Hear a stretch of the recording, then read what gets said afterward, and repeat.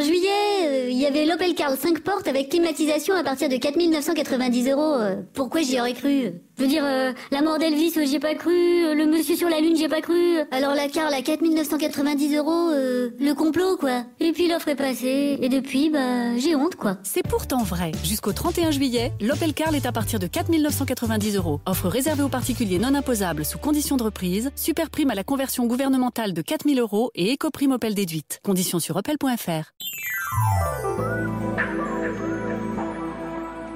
Elle accompagne vos nuits. La libre antenne. Caroline Veille sur Europe 1.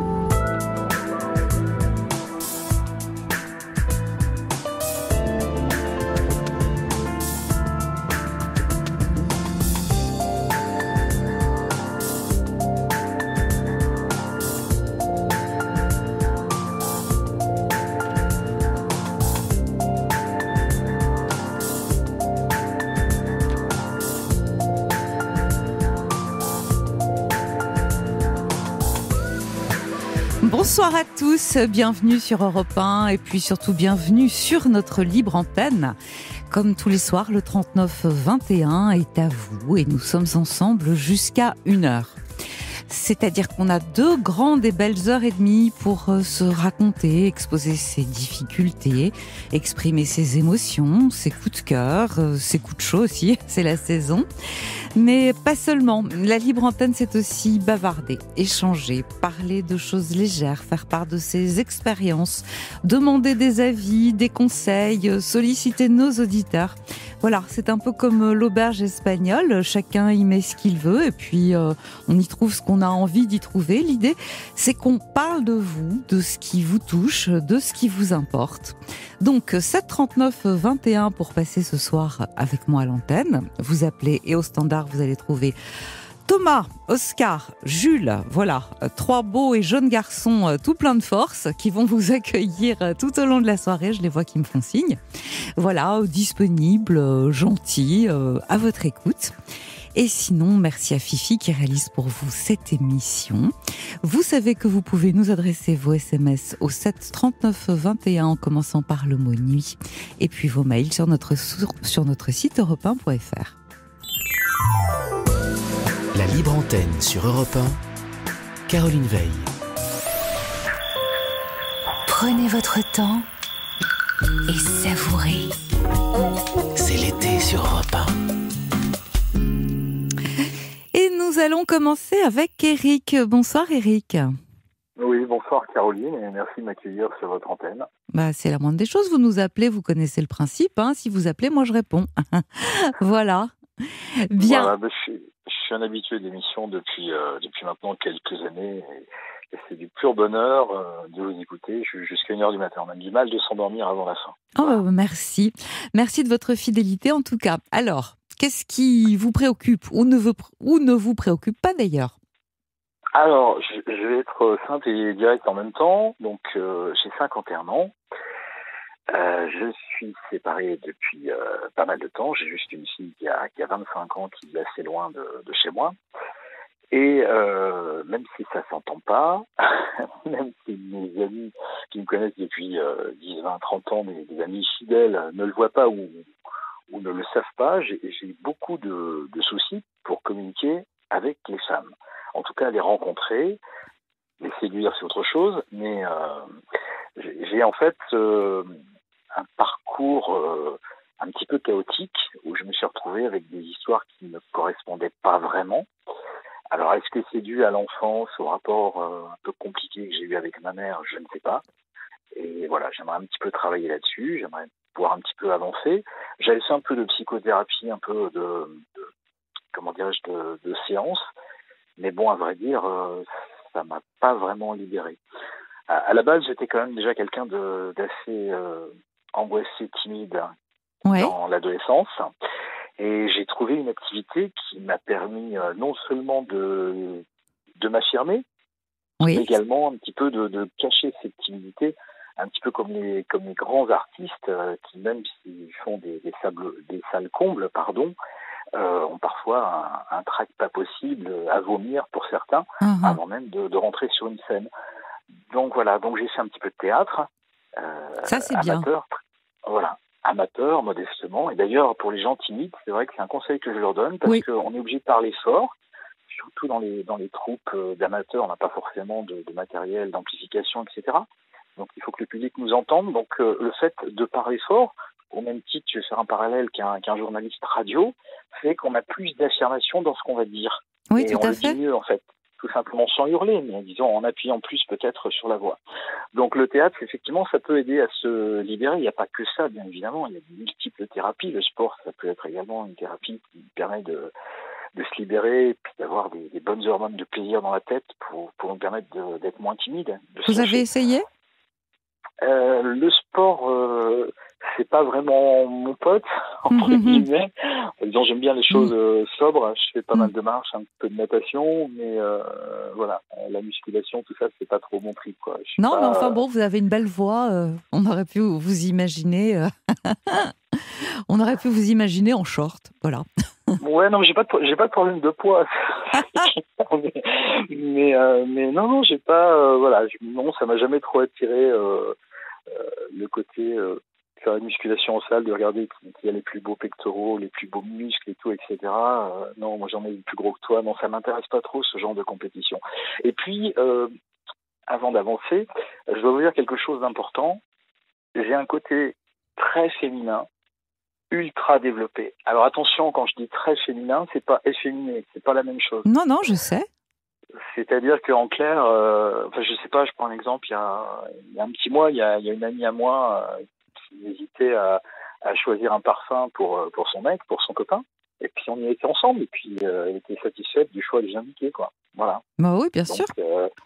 donc en, en clair, si vous voulez, je m'intéresse plus à des trucs de nana, de femmes, Ouais. par exemple la psychologie, les bouquins euh, cosmopolitains et compagnie, par exemple. Oui. Moi, j'ai fait un peu de pub. Mais voilà, j'aime bien ce genre, euh, les, les macs de, de psychologie, pas uniquement chez le dentiste. euh, Ça m'intéresse plus que des, bou- des bouquins de moto, de bagnole. euh, mhm. Voilà. Et je supporte pas également la vulgarité. C'est-à-dire que je déteste les hommes qui parlent de- des femmes euh, euh, très mal, quoi. Ça, c'est ou les, les, les, les mecs qui sont minables, qui sont torchés, excusez-moi du peu. euh, voilà, Mais quelle bonne nouvelle. Alors, je, sais- je me suis un petit peu perdu. Euh, oui, voilà. Donc, si vous voulez, je, voilà, je me suis affirmé dans dans mon travail Mhm. parce que je fais de l'animation, euh, je fais de l'animation euh, de soirée, micro et tout, etc. depuis maintenant un petit peu plus de, de 30 ans, avec différentes expériences. Donc côté travail, ça va, je m'éclate dans ce que je fais. Ouais, animation, animation de soirée. Et vous êtes dans l'événementiel, en fait. Voilà, c'est ça. Donc l'organisation, euh, bon, et puis j'ai- développé également mon côté commercial. Et mon hypersensibilité, mon hyperféminité a été un atout. Parce que quand vous avez quelqu'un en face euh, de vous, Oui, Euh, vous savez comment le saisir, comment le capter, comment l'amener à, à profiter aussi de la soirée, etc. etc. Voilà, mais surtout, je, je sens bien les gens. C'est-à-dire quand, quand j'ai un client, par exemple, quand, quand j'ai rendez-vous euh, la première fois avec un client euh, ou une cliente, la plupart du temps, par exemple, pour un mariage, je ne sais pas si le contrat va se faire ou pas, je ne sais pas si le budget va passer ou pas, mais très rapidement, dans la minute qui suit, dès que j'ai la personne en face de moi, je, je sens comment ça va se passer Mhm. où je sens un petit peu euh, les points sur lesquels peut-être euh, il faudra il faudra travailler ou insister. C'est Voilà, un atout, et ça. sans for- Voilà, c'est un atout parce que sans forcer, j'arrive à mes fins, sans manipuler, sans, sans être un vendeur de, de poudre de perlimpinpin des années 70, un petit peu baratineur. J'ai pas besoin de tout ça. Je pose des questions ouvertes, j'écoute bien mes clients et j'arrive tout de suite à déterminer ce qu'il leur faut. Voilà, et en général, euh, ça marche très fort. Quoi. Donc, côté travail, Vous êtes heureux? vraiment. Oui, pas vraiment de problème. Bon, là, je vais peut-être me réorienter sur autre chose, notamment dans l'immobilier, parce que ça me travaille depuis un certain nombre d'années. Et puis, bon, à l'âge que j'ai, euh, j'ai encore de belles années devant moi. Donc, j'ai vraiment envie de m'éclater. J'ai vraiment envie de voir beaucoup plus de monde, et- etc. Et puis, d'avoir peut-être aussi une vie euh, sociale un petit peu plus stable, parce que. euh, Oui, parce que le fait de travailler, d'animer des soirées, ça vous empêche euh, d'avoir vos propres soirées. Bah, vous avez tout compris. Et puis surtout pour certaines femmes, c'est un- c'est un problème parce que quand elles ont un, un homme qui est DJ, euh, bon, Bah bien oui. habillé, sans prétention, euh, dire ah, il va peut-être euh, être infidèle, etc. Donc moi j'ai eu souvent dans ma vie, j'ai souvent eu ce, ce problème. Alors que si je peux me permettre de vous faire une confidence, ça sort pas d'ici, personne nous écoute. Non. Euh... non, mais je l'ai dit, dit, en plaisantant. J'ai bien euh, compris.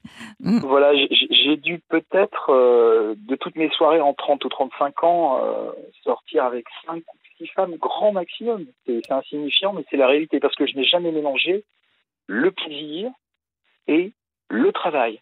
D'accord. Voilà. Je, je veux pas. Donc, donc c'est compliqué, par exemple, quand je suis à un mariage.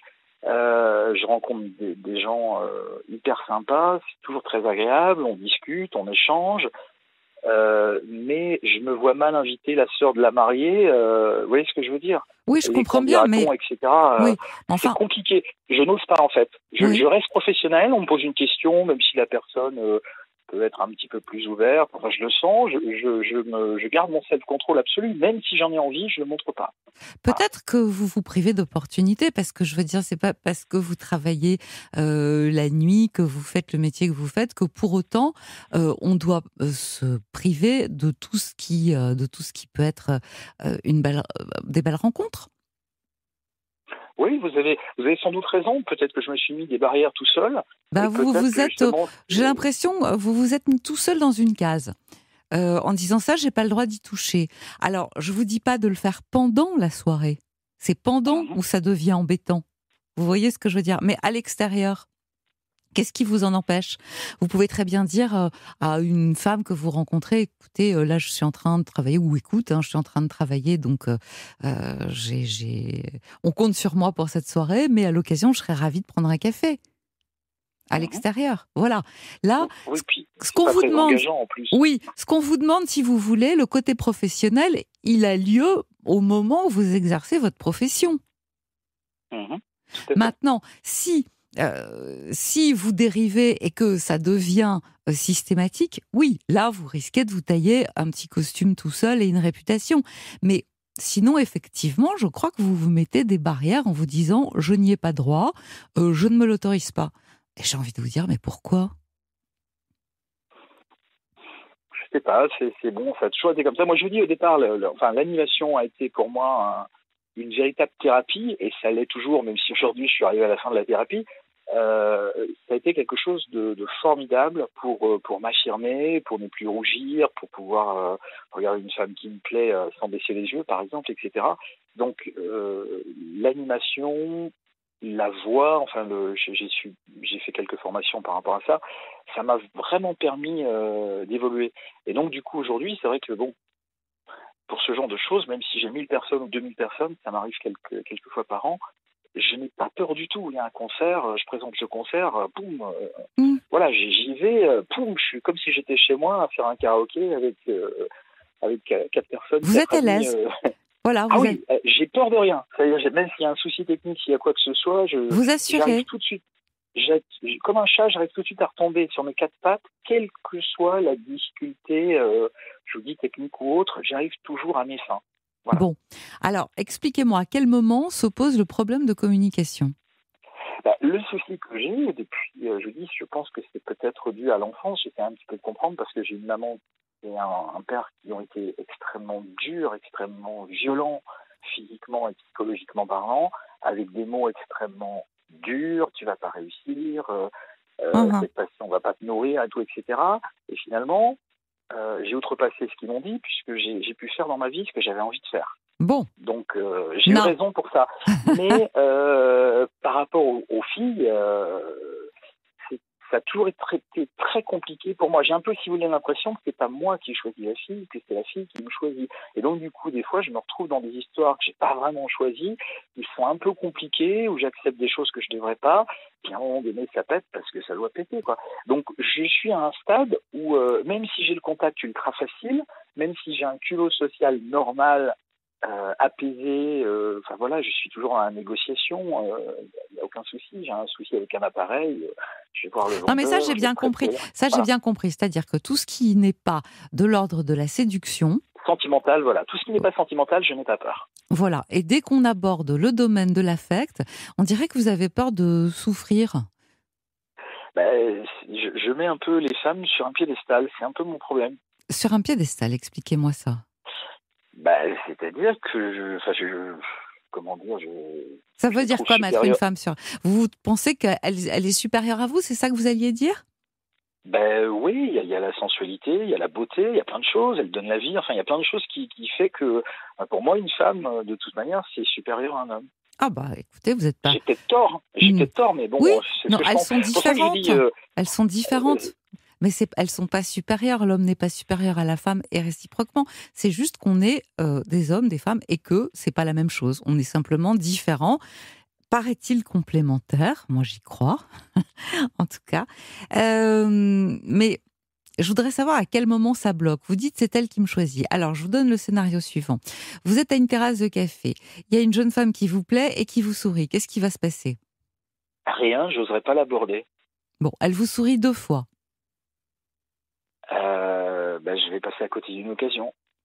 Elle sourit deux fois, elle se lève et elle vous demande du feu, par exemple, parce que elle allume une cigarette. Ou, ou l'heure. Alors là, ou- euh, avec grand plaisir, je dirais, j'ai tous les défauts sauf celui-là, je ne fume pas. Bon, d'accord. Et Mais, mais là, je pourrais, enfin, ça m'est jamais arrivé ce genre de scénario. Mais si effectivement, si ça m'arrivait, à la rigueur, si je tombais sur une femme un peu extravertie, plus extravertie que non, moi mais elle n'est pas extravertie. Elle vous plaît, elle est à côté de vous, elle vous demande Ouais. du feu. Voilà, elle vous a souri gentiment. Elle est dans une conversation à côté ou pas, ou elle est seule, elle lit un Mhm. journal. Qu'est-ce qui se passe? Bah, si elle vient à moi, je vais lui répondre. Et si elle ne vient pas à vous Ah, je, pense pas que je ferai le premier pas. Bon, alors expliquez-moi pourquoi vous n'allez pas faire ce premier pas. J'ai bien compris que vous n'alliez pas le faire, vous me dites, vous, vous le confirmez, et expliquez-moi précisément ce à quoi vous pensez pour éviter de faire ce premier pas. Ben, j'ai une peur bleue de me prendre un râteau, de me prendre une réflexion désobligeante. hein. Hmm m'est déjà arrivé dans, dans ma vie, ce qui est fait normal. hein. Donc. on, on gagne pas tous les coups entre guillemets. Donc vous Donc, avez peur du rejet J'ai tellement peur de ça et par rapport à tout ce qu'on a pu me dire quand j'étais ado, Mhm. euh, surtout mes parents, que si vous voulez, je pense que j'ai ça qui est, qui est incrusté en moi au plus profond de moi-même et j'arrive pas à enlever ces marqueurs. Euh, voilà, c'est, je, je sais que dans ma vie, enfin, j'en ai reparlé avec euh, quelques femmes que j'avais pu rencontrer dans le domaine professionnel. J'ai raté deux, trois belles occasions avec justement des, des, des femmes qui étaient attirées par, pas par moi forcément physiquement, mais parce que j'ai, parce que j'étais au niveau caractère. Et ça s'est pas fait parce que moi, je me suis un petit peu, euh, je sais pas, j'ai mis un voile, j'ai fermé les yeux. Alors que bon, euh, Mm. Bah, écoutez, je crois qu'en fait, euh, vous l'avez, euh, euh, vous l'avez dit tout seul sans vous en rendre compte. Euh, moi, ce que j'identifie quand je vous entends, c'est d'abord la peur du rejet. Vous avez peur qu'elle vous rejette. Et pourquoi vous avez peur du rejet? Bah, Vous le dites tout seul aussi, euh, assez spontanément, à cause de ce que j'ai entendu pendant toute mon enfance. C'est-à-dire que quelques femmes qui se trouvent à côté de vous, d'une certaine manière, ce que vous allez entendre, ce sont les mots de maman. oui. Alors, si vous vrai, pouviez, si vous pouviez vous sortir de la tête que la personne que vous avez à côté de vous n'est pas votre mère et qu'elle est même tout sauf votre mère et qu'éventuellement euh, vous allez faire avec elle des choses que vous ne feriez jamais avec votre mère, peut-être Ah, je veux que surtout ça... pas qu'elle ressemble à ma mère. Je veux bah surtout pas qu'elle ressemble à ma mère. Ah, mais- J'ai rien contre ma mère, elle est décédée, paix à son âme, mais je veux dire, euh, voilà. Non, mais elle n'est pas votre mère. Mais elle n'est pas votre mère d'emblée et vous, vous me faites inconsciemment peut-être un petit amalgame. C'est une femme, elle va me dire les mêmes trucs. Ou elle va pas me trouver bien ou assez bien comme ne me trouvait pas assez bien ma mère. Grosso modo, hein, ça équivaut à ça. Parce que quand on a peur du rejet, et vous le dites, vous entendez une voix intérieure qui vous dit que vous avez toutes les raisons d'être rejeté. Or, logiquement, quand rationnellement vous me dressez un tableau de votre vie, de comment vous vous comportez, de ce que vous avez réussi à surmonter, de ce que vous êtes capable et à même de faire, qu'est-ce que j'entends? Quelqu'un qui est plutôt à l'aise euh, dans la vie, plutôt à l'aise dans la société, qui n'a pas de, de soucis de communication euh, avec les autres, qui est capable de faire du lien avec les autres, qui est même doué d'une euh, d'une bonne intuition. Mais dès que vous avez affaire avec le féminin, ça s'arrête. Ça s'appelle pas maman, ça? Ah oui, vous avez raison, mais, mais alors, pour faire un parallèle sur ce que vous me dites, euh, comment vous dire euh, Moi, j'ai un, j'ai une grosse difficulté entre euh, l'amitié, parce que je crois en l'amitié homme-femme. J'ai eu des amis femmes avec qui j'étais très très proche, pas intimement, mais, mais vraiment très très proche.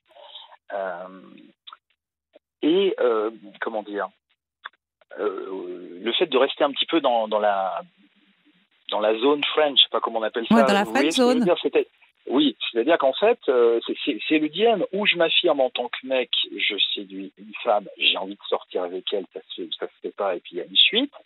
Ou alors, effectivement, euh, je suis un super pote, euh, on s'éclate, on Mm. fait des sorties, etc. Ah mais non, on va pas coucher ensemble. Bah non, super Eric, mais c'est un, c'est, c'est un ami, quoi. C'est plus, je, je couche pas avec mes amis, quoi. Ouais. Voilà, j'ai du respect et tout, etc. Donc du coup, voilà. Donc des fois, je me suis retrouvé dans des situations également. Vous étiez très Euh, amis je au lieu d'être euh, Ben, je euh, m'entendais à merveille avec euh, certaines femmes, puis j'avais envie d'avoir plus et j'attendais euh, patiemment que, que ça se passe, mais ça s'est jamais Ah, mais fait. voilà. j'ai jamais, Attendre eu, patiemment. j'ai- Attendre patiemment. j'ai- cru comprendre qu'il faut, il faut, comment dirais-je, être très, très spontané, très direct, et puis pas, euh, c'est-à-dire si on, si on- sans, sans être, euh, sans être comme un chien, quoi. Je Non, non, non, Mais je veux dire, euh, si, si, si une femme nous plaît, trois secondes, bonjour, comment allez-vous, je vous offre un café, boum, et puis après, ça se fait ou ça se fait pas. Parce que c'est vrai que dans la démarche, euh, Non, non, mais ça c'est un peu rapide. hein. Euh, ce que vous êtes en train de dire, euh, c'est pas, il s'agit pas de, euh, voilà, bonjour, euh, on se plaît, vous me plaisez, tu me plais, etc. Et hop, passage à l'acte. C'est pas de ça dont on parle, parce que il y a une phase de séduction qui est plutôt sympathique hein, lorsqu'elle s'installe, c'est-à-dire que, bah, on, ah, bah, on se plaît.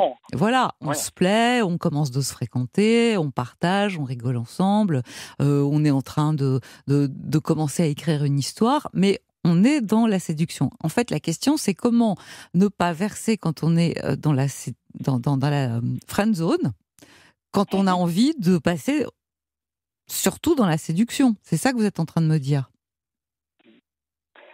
Oui, tout à fait. Moi, des fois, je, prends un exemple concret. Bah, dit. Souvent, je me suis, je me suis enlisé, je me suis enlisé dans des, dans des histoires pas possibles, avec des femmes euh, qui venaient de se séparer, donc qui, au lieu de, de parler euh, du carpe diem, de l'instant présent, de ce qu'on va faire dans deux jours, tiens, il y a une soirée, on va faire un petit tour et tout, me racontaient un petit peu leur vie. Et vous euh, et donc, deveniez le meilleur ami. Ben, je, je devenais plus un écoutant, voire un, un assistant psychologue. Je vais pas prendre, votre- je vais pas faire votre métier, mais c'est un peu ça. C'est-à-dire, j'écoutais la personne, et donc du coup, je m'intéressais à elle parce que je m'intéresse aux gens à la base. Mais donc du coup, effectivement, après, il n'y avait pas possibilité entre guillemets d'avancer plus que ça, puisque j'étais plus un, Elle vous voyait un comme quelqu'un euh, qui était désexualisé. voilà, j'étais plus un potentiel euh, mâle alpha fort entre Mm. guillemets. J'étais un ami. Vous comprenez ce que je veux dire Mais ça, c'est très facile. Mais ça, c'est très facile de, de, de l'arrêter. Vous pouvez très bien lui dire euh, Oh là là, ne me raconte pas tout. N'oublie jamais que je suis aussi un homme alpha fort et que je peux avoir envie de te consoler. Autrement que ce que tu n'imagines. Mais on peut tout dire à condition de le dire gentiment et sans agressivité. C'est ça que j'essaye de vous faire passer comme message. C'est-à-dire que vous êtes en train de me mélanger un peu les deux.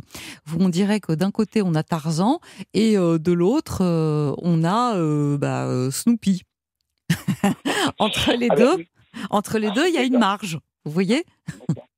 C'est Parce pas. que très objectivement parlant avec vous, aujourd'hui, que je ne sais pas quelle thérapie vous pouvez me conseiller euh, en termes d'affirmation de soi, moi aujourd'hui, j'aimerais clairement, euh, vous m'entendez parler, je, je, je suis fluide, je suis clair dans, dans ce que je vous dis, euh, j'aimerais, si vous voulez, dans, dans ma vie de tous les jours, euh, vous voyez, Ouais. aujourd'hui, tenez, aujourd'hui, je vous donne un, un exemple très simple.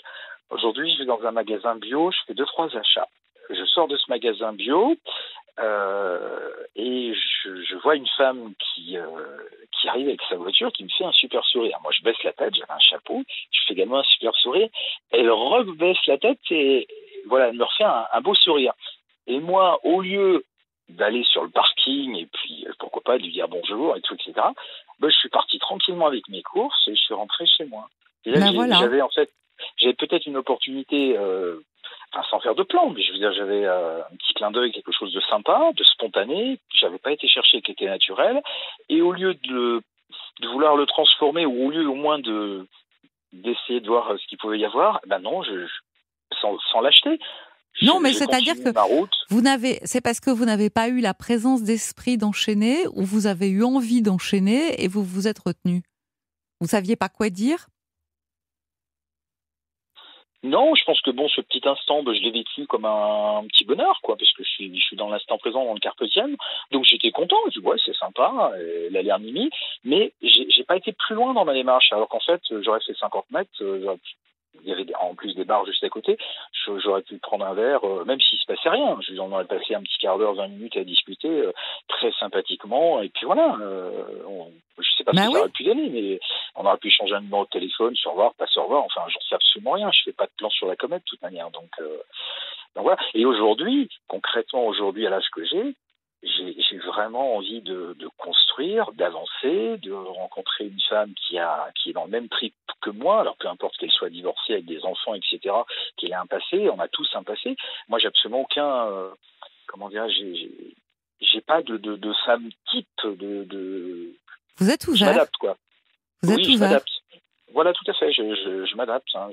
Voilà. Je sais que par exemple, bon, j'ai des amis qui sont infirmières. Je prends l'exemple de, de quelques amis qui sont infirmières. Elles, elles sont séparées, divorcées, parce que pareil, un petit peu comme moi, des horaires un petit peu spéciaux, décalés, et puis bon, bah, certains hommes, certains maris supportent plus au bout de certains, certaines années, même s'il y a les enfants, et puis voilà, ça, ça a clashé euh, pour certaines à cause de ça. Bien sûr. Donc, et, et, moi, c'est pareil, je suis pas infirmier, mais je veux dire, euh, mon boulot, j'adore mmh. mon boulot, mais quand vous, des fois, pendant l'été, bah, vous avez sur euh, 10 week-ends, vous en avez 6, 8 qui sont pris par les mariages, des anniversaires, ah, quand est-ce qu'on se voit? Ouais, les vacances, on part pas. Ben non, en septembre, je peux pas, je reprends. Ben voilà, donc des fois, c'est un peu compliqué, quoi. Enfin, en même temps, euh, septembre, c'est la rentrée pour tout le monde, hein. Voilà. Non, mais c'est pour ça, je, je, pense que, je vous disais, je vais peut-être me réorienter sur autre chose euh, dans l'immobilier, ouais. même si c'est dur, parce qu'en bossant dur la semaine, eh ben, si j'ai une petite chérie d'amour, euh, le week-end, euh, on se barre, euh, on prend un gîte et on passe du bon temps, on fait plein de choses et puis voilà quoi. Et, et là au moins on a une vie, on a une vraie vie, et on peut on peut exister euh, par nous-mêmes. On n'est pas obligé de prendre rendez-vous pour savoir quand est-ce qu'on se voit. Quoi. Exactement, voilà. mais enfin généralement on est quelques-uns à prendre rendez-vous. Ce que je voulais dire c'est que moi, si je devais vous conseiller une thérapie, ce serait plutôt euh, carrément une petite psychothérapie de soutien de façon à voir à quel moment vous bloquez et en fait, il faut pas grand-chose pour que le déverrouillage se fasse. Hein. Vous en êtes très proche. Vous en êtes très proche parce que vous en avez surtout l'idée et la très grande envie. Au fond, vous êtes en train de me dire pourquoi j'ai pas été foutu de lui parler à cette femme qui m'a envoyé euh, deux signaux pourtant super sympathiques. Euh, c'est euh, c'est dommage. Voilà. Alors, je pense que le fait d'en parler avec quelqu'un, mais bien, comme on vient de le faire, eh ben ça, déjà, ça, ça vous libérerait et ça vous donnerait l'habitude de penser que vous pouvez être séduisant.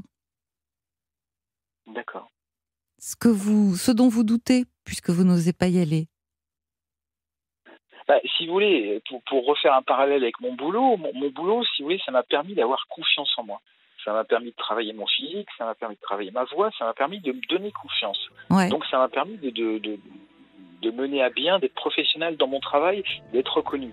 Ouais. Euh, donc c'est important. Mais, comme je vous ai dit, je n'ai jamais mélangé mon travail ouais. et euh, les relations sentimentales parce que je ne voulais pas entrer, euh, rentrer dans une relation avec une femme par rapport à mon travail. Alors, je vous interromps, Eric. Je vous interromps. On va se retrouver tout de suite après euh, les infos. Vous restez en ligne avec nous, d'accord? Vous ne raccrochez pas. Elle accompagne vos nuits. La libre antenne. Caroline Veille sur Europe 1.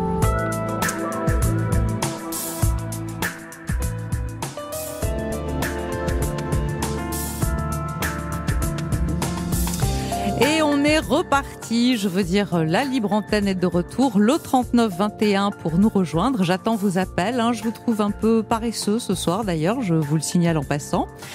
On est ensemble jusqu'à une heure. Ce n'est pas une raison pour ne pas appeler dès à présent, parce qu'on continue d'avancer. La ligne est à vous. Vous pouvez donc nous raconter, nous appeler si vous avez envie d'un conseil, de partager une expérience, parce que nous, on est là pour croiser des idées, des vies, et que c'est une bonne manière, au fond, de se rencontrer, que de partager des expériences. Et puis, même si chaque histoire est unique, sachez qu'on retrouve toujours un peu de soi chez l'autre, et que ça fait des points communs ça fait euh, des façons euh, nouvelles d'être et puis ça nous aide aussi les uns les autres. Voilà. Bien, alors 73921 pour vos SMS en commençant par le mot nuit, vos mails sur notre site europe et on va retrouver Eric. Respirez, c'est l'été. On est bien sur Europe 1. Et on va retrouver Eric. Eric, vous êtes toujours là Oui, tout à fait. oui. Voilà, merci d'avoir euh, patienté. En tout cas, je voulais pas vous lâcher comme ça, parce que moi, ce qui m'intéresse, c'est ce que je vous disais, on n'est pas à grand-chose, vous en avez vraiment euh, très envie. Et la question que vous me posez, c'est qu'est-ce que j'ai bien foutu pour ne pas, euh, qu'est-ce que j'ai pu faire pour ne pas parler à cette femme qui m'a souri par deux fois et avec qui, euh, ma foi, j'aurais pu prendre ou un café, ou l'aider à sortir de la voiture, ou euh, l'aider à pousser son chariot euh, ou son caddie pendant tout le temps où je faisais, elle faisait ses courses, etc., etc. Bon, on va pas refaire l'histoire. On peut juste décider, vous et moi, ce soir, que ceci ne se reproduira plus. voilà. Oui, qu'il n'y ait plus de regrets, en fait. Voilà. Ouais, que vous, ne- voilà, que vous devez plus avoir de regrets, que c'était la dernière fois que vous n'osez pas. Parce que qu'est-ce qui va se passer? Elle va vous dire non, je suis occupée, euh, je suis débordée. Si vous l'abordez gentiment, il ne se passera rien de plus. Elle va pas vous dire Ouais, non, euh, bah oui, les, quelles sont les conséquences? Elle va pas vous dire euh, mais non, j'ai pas de temps à perdre et monsieur, de quoi vous me parlez? Vous êtes insupportable. Mais enfin, qu'est-ce que ça veut dire? Attention, j'appelle la police. Oh là là, mais euh, vous me harcelez. Donc, donc- non, donc, non. Si, si, si je, si je vous suis bien, Mm. si je vous suis bien, euh, je reste positif et je me dis, entre guillemets, à tous les coups on gagne, c'est pas la fête foraine, c'est-à-dire que soit je gagne un bon petit moment sympathique de convivialité, on discute, on prend un verre, il se passe rien, mais voilà, et pourquoi pas, on, échange nos numéros de téléphone, on se revoit, mais amicalement, et puis C'est tout. une rencontre et on sait jamais ce qui va se passer. C'est cinq voilà, minutes, exactement. deux heures, euh, dix on secondes, ne on pas sait de pas. plan, Ouais. On ne fait pas de plan, carpe diem, on vit l'instant présent. Ou alors, deuxième hypothèse, bah effectivement, il y a, il y a un petit échange qui se passe, euh, on passe plus d'une demi-heure, une heure ensemble, et puis on a envie de se revoir, et puis euh, quelques jours plus tard, il peut y avoir un truc qui démarre, et, et c'est super sympa. Donc, dans tout, en, en tout cas, en étant positif, euh, en mettant pas de, de, de frein, comme je le fais depuis un certain nombre d'années, Ah oui. je- Ah oui. et, et là, l'avan- l'avan- l'avantage, c'est que là, je pourrais vraiment choisir les femmes avec qui j'ai envie d'être. Parce que, comme je vous ai dit, moi, mon gros souci, c'est que 9 fois sur 10, 8 fois sur 10, je suis rentré dans des histoires, souvent qui ont duré des années, euh, où je me suis ennuyé au bout de quelques temps. Et euh, voilà, j'arrivais pas à trouver la porte de sortie, c'était très compliqué. Ouais, pour parce moi. que vous, vous étiez très content d'avoir été choisi, vous étiez même reconnaissant et du coup, euh, bah, vous vous êtes enfermé dans une, une histoire qui n'était pas pour vous. Moi, ce que j'entends, ce que j'aimerais que vous compreniez, c'est que si vous vous adressez poliment, gentiment, il n'y aura jamais aucune, euh, euh, aucune conséquence négative. Voilà, parce que les femmes, elles sont sensibles au fait que euh, précisément, bah, on fasse attention à elles. Si on les trouve jolies, on leur fait savoir. Il n'y a pas une femme qui soit pas contente de ça. Et alors, petite, petite parenthèse. Hmm. Par rapport à la différence d'âge. Oui. Que là, j'ai. Comment dirais-je J'ai quelqu'un que je vois régulièrement, enfin, qui, qui n'est pas, euh, qui, qui n'est pas une amie, c'est une infirmière que je vois de temps à autre, euh, Oui. avec qui il y a eu un très très bon feeling. Euh, avec, on va dire, des détails qui ne trompent pas. C'est-à-dire que quand on s'est vu, quand on a discuté, elle avait la, la main dans les cheveux. Il paraît que c'est un, comment dirais-je, c'est un, Un c'est un signe de séduction. important qui ne trompe pas quand une femme tourne ses, cheveux en boucle et tout quand elle vous regarde. Et puis même sur le message qu'elle a pu me laisser, etc. Ensuite, voilà, dans sa voix, l'intonation de sa voix, je, sens quelque chose. Mais encore une fois, je veux pas me faire de plans sur la comète. Je veux pas projeter, parce que moi, je veux vivre l'instant présent.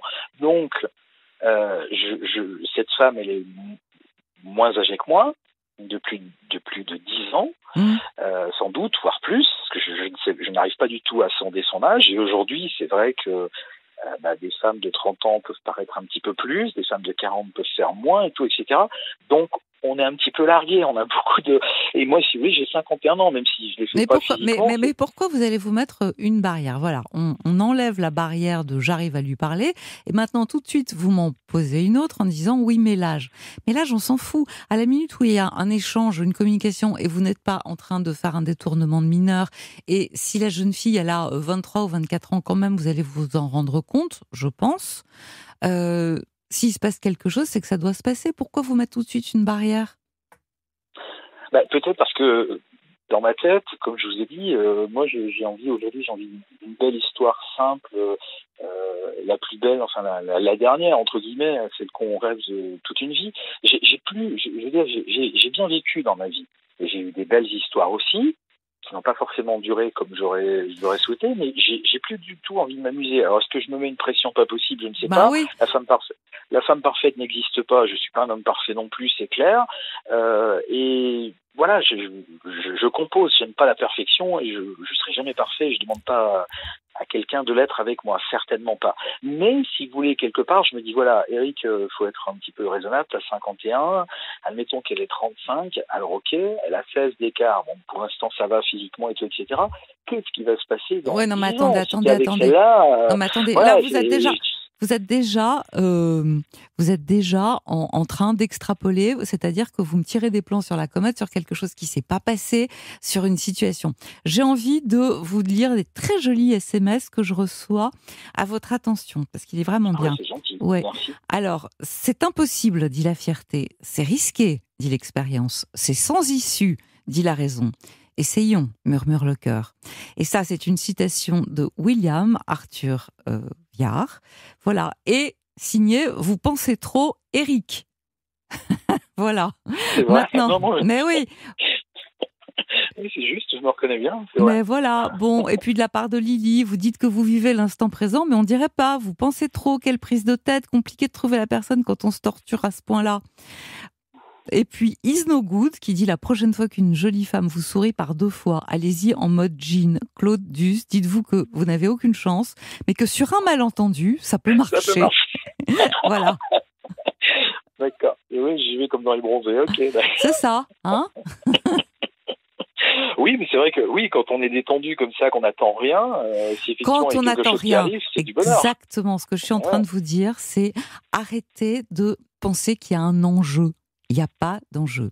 Ça, c'est un. Deux, je vais vous dire, si vous voulez une vie sans risque, ne pas risquer une veste, un râteau, tout ce que vous allez me dire, le rejet. Je vous dis, vivre, c'est risqué. À ce moment-là, ben, vous restez chez vous, fermez la porte, et puis c'est vrai, il se passera rien. Oui, c'est un peu la.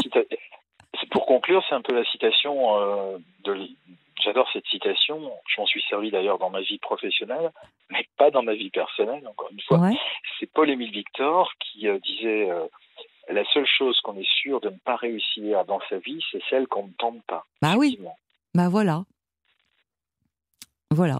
Donc euh, je pense que vous avez la, vous avez euh, la réponse. Mais allez donc voir euh, un psychologue euh, qui va euh, vous aider à vous lâcher un peu et puis à arrêter cette prise de tête. Parce qu'au fond c'est une prise de tête.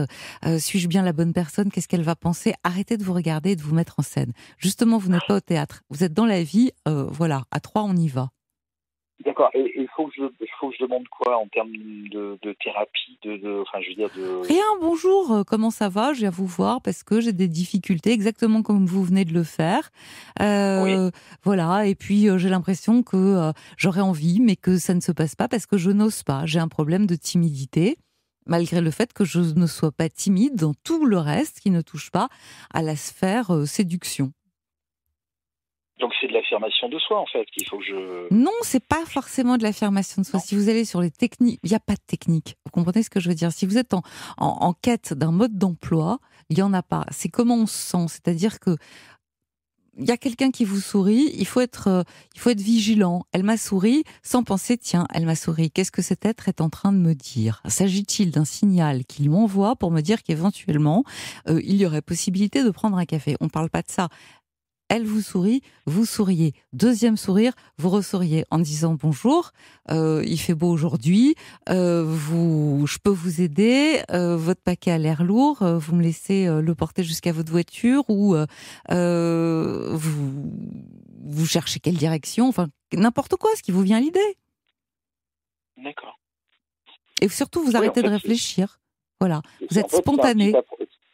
Voilà, c'est un apprentissage simple. euh, Il faut que je mette en place ce que, ce que je suis dans ma vie professionnelle. Il faut que j'arrive à le décalquer sur ma vie personnelle. Et jusqu'à jusqu'à maintenant, bah, ça- paraît paradoxal parce que les gens qui me connaissent depuis de longue date. Oui, euh, mais j'ai bien compris voilà. que quand on vous connaît, on a l'impression que vous êtes super à l'aise. Quand on vous écoute aussi, on a l'impression que c'est. euh, Mais l'idée, c'est de faire attention aux autres. C'est de faire attention parce que si vous êtes réceptif aux beaux signaux, et c'est d'ailleurs ce que dit Marie, euh, si vous faites attention, vous n'allez pas vous tromper et vous allez instantanément trouver euh, l'ouverture. D'accord. Bon, je compte sur vous. Oui, on a tout l'été, donc ça va, ça va bien se passer. C'est léger l'été. Voilà, rendez-vous au, Merci beaucoup. rendez-vous au tas de sable en septembre. Au revoir Eric. Avec plaisir. Merci à vous en tout cas. Bonne émission. Toutes vos confidences à Caroline Veil au 3921. 50 centimes la minute plus coût de l'appel. Et on va poursuivre avec euh, Jacqueline. Bonsoir Jacqueline. Bonsoir Caroline. Merci de m'accueillir et de prendre du temps pour moi. Euh, J'écoute la libre antenne depuis 2009 à peu près et Ouais. j'avoue que j'ai beaucoup, beaucoup, beaucoup, beaucoup appris euh, et partagé dans mon cœur euh, les milliers d'auditeurs. Voilà. J'imagine. Merci en tout cas de votre fidélité. Euh, bon, j'ai un petit peu le trac, mais je vais Bah vous oui. un peu le décor. Euh, j'ai été malheureusement euh, contrainte de perdre mon enfant Oh, il y a bientôt 20 ans. Il avait lui aussi bientôt 20 ans, 19 ans et demi, ça fait 19 ans et demi. Il s'est noyé dans la Seine. il s'est noyé dans la Seine, c'est-à-dire il s'est, il est tombé Alors. par hasard. On ne sait pas. La Mm. mort euh, reste mystérieuse euh, dans ce sens où euh, c'était un après-midi, un dimanche après-midi à 16h20 euh, entre Notre-Dame et le quai des Orfèvres. Euh, il est tombé dans l'eau. euh, il n'y avait pas de barrière de sécurité et on ne sait pas si c'est en reculant, euh, si c'est un pari Mm. ou s'il a été poussé. non, enfin, c'est un accident. Oui, c'est un accident, ça a été conclu comme un accident. Euh, il n'a pas pu se libérer parce que le 6 février, il faisait un froid euh, épouvantable. Euh, il était beaucoup couvert et il n'a pas pu revenir vers, vers le bord. Oh là il, là. il est resté au milieu. Et tout ça, ça, ça a été à la vue de, de centaines de personnes. Voilà, il y a un monsieur italien qui a voulu aller à son secours. Quand il a vu que c'était dangereux, il a renoncé. Un Il a été de mon empor- fils, Il a été emporté par le courant en fait, parce qu'il il devait Oui. savoir nager, votre fils. oui, il a été emporté par le courant et il y avait aussi une, une péniche qui transporte des gens qui venaient de passer à ce moment-là. Donc il y a eu du remous Ouais. en même temps. Donc euh, il n'a pas pu. Ça a été euh, pour lui trop trop trop d'efforts. Oh là là. Euh, il y a un copain qui a essayé de de- d'aller vers lui pour le, le secourir et ça l'a pas fait non plus. Donc il a- lui il a pu revenir. Ouais. Il y a un monsieur italien qui Ouais. était euh, là, qui a voulu aussi le secourir, ça s'est pas fait non plus. Et bon, après, euh, tout ce que j'ai pu savoir, euh, c'est que ça s'est fait très très très rapidement euh, quand la police fluviale est arrivée. Donc, euh, il a été remonté de l'autre côté. Oui. D'accord. Et quand il s'est trouvé au sol euh, inanimé, bien sûr, euh, c'était beaucoup trop tard pour le, le réanimer. Euh, une femme est passée et cette femme connaissait mon fils Ah bon? Parce que mon fils était un marginal.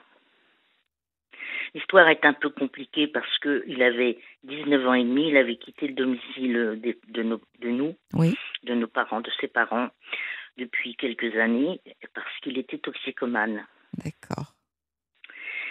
Et il n'avait pas de papier sur lui. Mhm. Donc, euh, on ne connaissait pas son identité. Et une femme, c'est là où je me dis que, c'est pour ça que je voulais témoigner, c'est qu'il y a des, des, des, des choses du destin qui arrivent. Cette femme se promène avec son mari et elle le voit. Oui. Et elle le reconnaît tout de suite. Et elle dit, mais c'est Maurice. Je ne dirai pas son nom. Oui. C'est Maurice.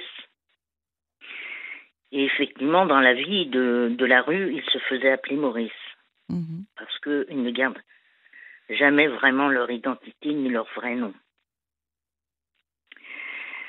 Et c'est comme ça que elle, elle a pu euh, tout de suite euh, remonter. C'est des personnes qui travaillent au captif La Libération à Paris, Mhm. qui sont remarquables, qui s'aident, qui, qui accueillent les, les SDF, les, les marginaux. Et moi, je ne saurais que le lendemain que mon fils est décédé. Parce que vu qu'il n'avait pas de papier, bon, ils ont dû faire une petite enquête et tout ça. Oui. J'appelais, c'est surtout pour mettre en garde les personnes qui ont des enfants toxicomanes. Oui. Parce que des fois, ça démarre très tôt. Le mien, ça a démarré, il avait 13 ans. 13 ans. Qu'est-ce, comment ça s'est passé?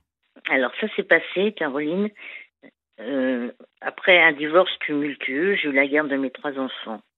Euh, ils avaient 7 ans, 6 ans et 5 ans. Ah, attendez, redites-moi ça. 7 ans, 6 Oui. ans et 5 ans. C'est tout petit, ça. Ouais. Oui. Et le petit garçon, Maurice, avait 5 ans. Ouais, c'était le plus petit. Euh, oui, et c'est celui qui a le qui a été le plus éborgné de de la séparation. Il a euh, souffert, il n'a pas parlé pendant trois jours. Oui. Euh, et ça a été un enfant excessivement difficile euh, à élever. Euh, hyperactif, euh, toujours de mauvaise humeur, associable, enfin bref. mais maman, poule, essayait toujours Oui. de le préserver, de, de faire en sorte que bon, ça aille bien avec ses sœurs. Ça n'a jamais été. Jamais. Et puis, au fur et à mesure, bon, il allait un peu chez son père, un peu chez moi, un peu chez son père, un peu chez moi. Et puis, pendant qu'il y a eu des vacances, il était sur Argelès et il a fait une fugue. Oui. Il a fait une fugue parce que la femme qui vivait avec son papa, donc mon ex-mari, lui a mis une gifle dans la rue. Ah. Terrible, ça. Et lui, il... Mm. non, lui, il avait 13 ans, il lui a fait un bras d'honneur et il est parti. Il s'est vengé. À 13 ans, à 13 ans, dans une ville comme Argelès en plein été, où il est allé Sur la plage. Bien sûr. Et c'est là qu'on fait des mauvaises rencontres. Et c'est là que tout a commencé. Qu'est-ce qu'il euh, qu'est-ce qu'il prenait comme produit? Alors, euh, à la fin, bon, euh, héroïne, cocaïne, euh, Mm. euh, bon, euh, Oui, au départ, ça a été juste une réaction, j'ai l'impression, de vengeance. Et puis, euh, il a dû, Oui.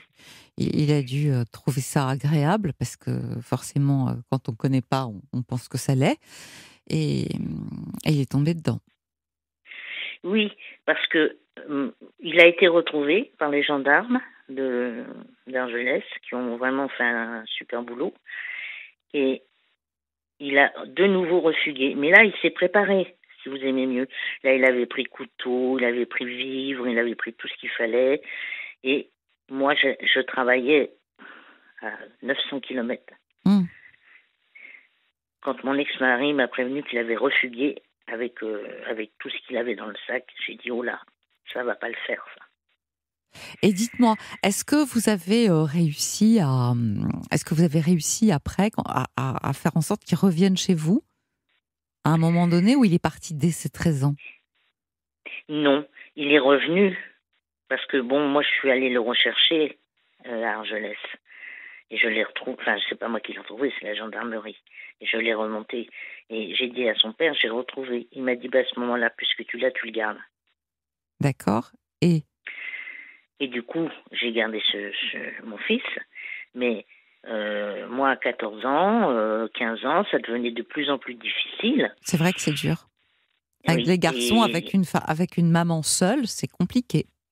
Non, mais j'avais un, j'ai, j'ai un conjoint. hein. Ah, j'avais d'accord. un conjoint. Oui, Ouais. oui. Mais qui, à qui j'ai pas laissé le, le rôle de, de beau papa. Je reconnais maintenant avec les années qui ont passé. Et euh, Maurice, lui, euh, ce qu'il voulait, c'était euh, faire ce qu'il voulait quand il voulait, partir, revenir, revenir, partir. Et ça, ça a duré pendant, on va dire, euh, de 14, 15, 16. Oui. Et il partait deux mois, il revenait euh, jusqu'au jour où moi, un jour soigné, enfin dans un délire pas possible à la maison, j'ai fait venir SOS médecin. Enfin, j'ai appelé mon pharmacien pour demander s'il y avait un SOS pour les drogués. Oui. Et après, quand j'ai vu le pharmacien, il m'a dit, Madame, je ne savais pas que vous aviez un enfant. euh, toxicomane. Je dit, vous savez, c'est pas quelque chose qu'on crée sous les toits. Hein. Il m'a dit, vous voulez qu'on en parle? Je vous assure, il a été admirable. Ouais. Admirable. Il m'a dit, aujourd'hui, votre fils, il a besoin de la loi du père. C'est à son père de s'occuper de lui. C'est plus à vous. Bah, il avait raison. Mais le père, Hmm. Le père, je crois qu'il était, était passé. démissionnaire Et oui, voilà. Le mot est là. Euh, ça lui convenait pas d'avoir un enfant toxicomane. Plutôt que d'avoir lié nos, nos, nos relations humaines et, et d'amour de notre enfant, Hmm, ça n'a été qu'en empirant. Bien sûr. Parce que ça a été tout, c'est de ta faute, c'est de ma faute, c'est de ta faute, c'est de ma faute. Ouais, bien sûr. Donc, quand euh, Maurice a continué à, à se droguer, moi j'ai fait tous les commissariats, j'ai écrit à- au juge. Euh, et un jour, quand il a été euh, majeur, on m'a dit Ah, Ah, mais il est déjà majeur, il a déjà 18 ans. Bon, bah, il a 18 ans maintenant, laissez-le faire ce qu'il veut. Bah, pas tout à fait. Hein. pas tout à fait, Mais- parce que quand c'est dangereux pour soi-même, euh, vous savez qu'on peut être euh, hospitalisé d'office. Ah bah oui, mais alors là, vous savez, je l'ai fait hospitaliser à Sainte-Anne. Je l'ai fait hospitaliser. Et là, il m'en a voulu. Oui, mais Énormément. Ouais, ça, c'est pas très grave en fait euh, qu'il euh, qu'il ait pu vous en vouloir parce qu'ils savent très très bien que c'est pour eux et que c'est pour leur bien. Alors oui, euh, mais euh, quand il s'agit de sauver leur vie, euh, quelquefois, c'est nécessaire de passer par certaines extrémités. Mais bon, je pense que vous avez fait. Ouais, je pense que vous avez fait tout ce qu'il fallait. Vous savez, il faut accepter aussi qu'à un moment donné, la situation vous échappe et que Maurice n'était peut-être pas adapté à la vie. Eh bien, voilà, vous, vous dites euh, ce que ma fille euh, a écrit euh, joliment le jour de son décès. Seulement, moi, voilà, ça fait 20 ans. Ouais. Et ça fait 20 ans que j'ai devant mes yeux mon fils. Mais, je, Ses yeux, son regard, sa voix, et je vous comprends tellement. ses mimiques. Mm. Même en tout crado qu'il était, il me donnait des rendez-vous dans Paris. Et quand il me recevait, il m'emmenait au restaurant. C'est moi plutôt qui l'emmenais au restaurant. Mais j'étais sa petite mère. Bien sûr. Et ça, je supporte plus de ne plus entendre la voix de mon fils. Mais c'est terrible. C'est terrible ce qui vous est arrivé. C'est le pire qui Mais c'est pas plus terrible que d'autres personnes. Mais est-ce que c'est moi qui est qui me complaint, complaît dans une situation de victime? J'ai l'impression de d'être une victime de la mort de mon fils. J'ai l'impression d'avoir pas pu l'aider. Non, c'est-à-dire que je pense que vous, mél- vous mélangez l'idée euh, de la culpabilité. Je suis euh, responsable en partie parce que j'ai pas pu l'aider. Il ne l'a, il n'a, il n'a pas, euh, il n'a pas donné une chance. Il ne vous a pas laissé aider. C'est pas que vous n'avez pas essayé. Je crois que vous avez fait tout ce que vous pouviez.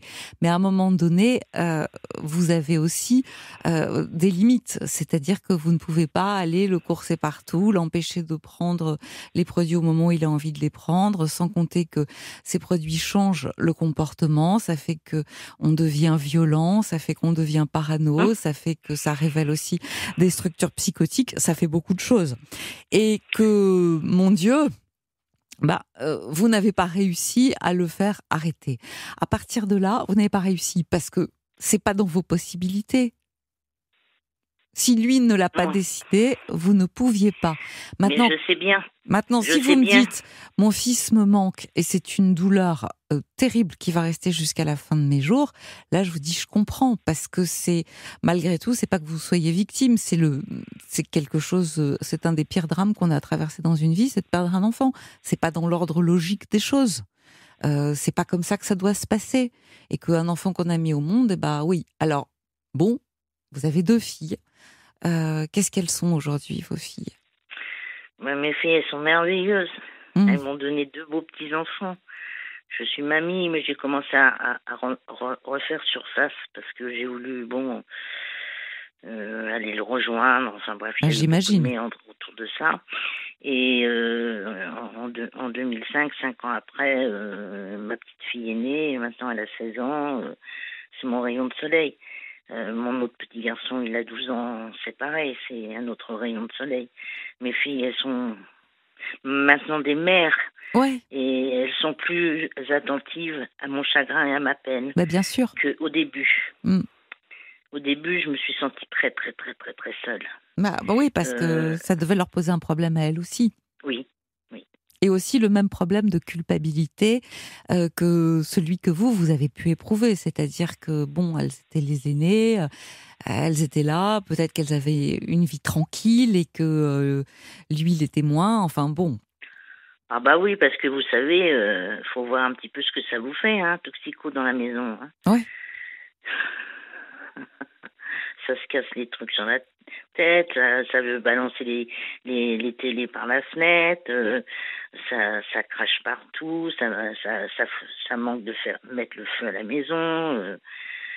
Non, mais j'appelais surtout pour dire que euh, en toxicomanie, il y a que, bien sûr, je l'ai compris, il y a que la personne qui est toxicomane qui peut elle-même décider de ses soins. Si elle veut pas, elle ne veut pas. il y a rien à faire. On peut pas et on peut pas vivre à la place de l'autre. On peut pas être dans sa tête et décider pour lui. On n'est jamais l'autre. Mm. Donc, Non, euh, non, ça, je, ça, j'ai bien compris que j'aurais jamais pu le sauver. Mais vous savez, il m'a donné des alertes. C'est ça aussi, je voulais dire. C'est que un jour, je m'étais disputée avec lui. Je lui avais dit, tu sais, mon fils, tu es en train de te, te préparer un beau cercueil. Vous savez ce qu'il m'a répondu? Il m'a dit, mais maman, si à moi ça fait plaisir de mourir à 20 ans, bah, c'est-à-dire il est mort l'année de ses 20 ans. ouais, comme s'il avait l'intuition de ce qui pouvait lui Oui. arriver. Ouais. Est-ce que, mais encore une fois, c'est ce que je vous disais tout à l'heure.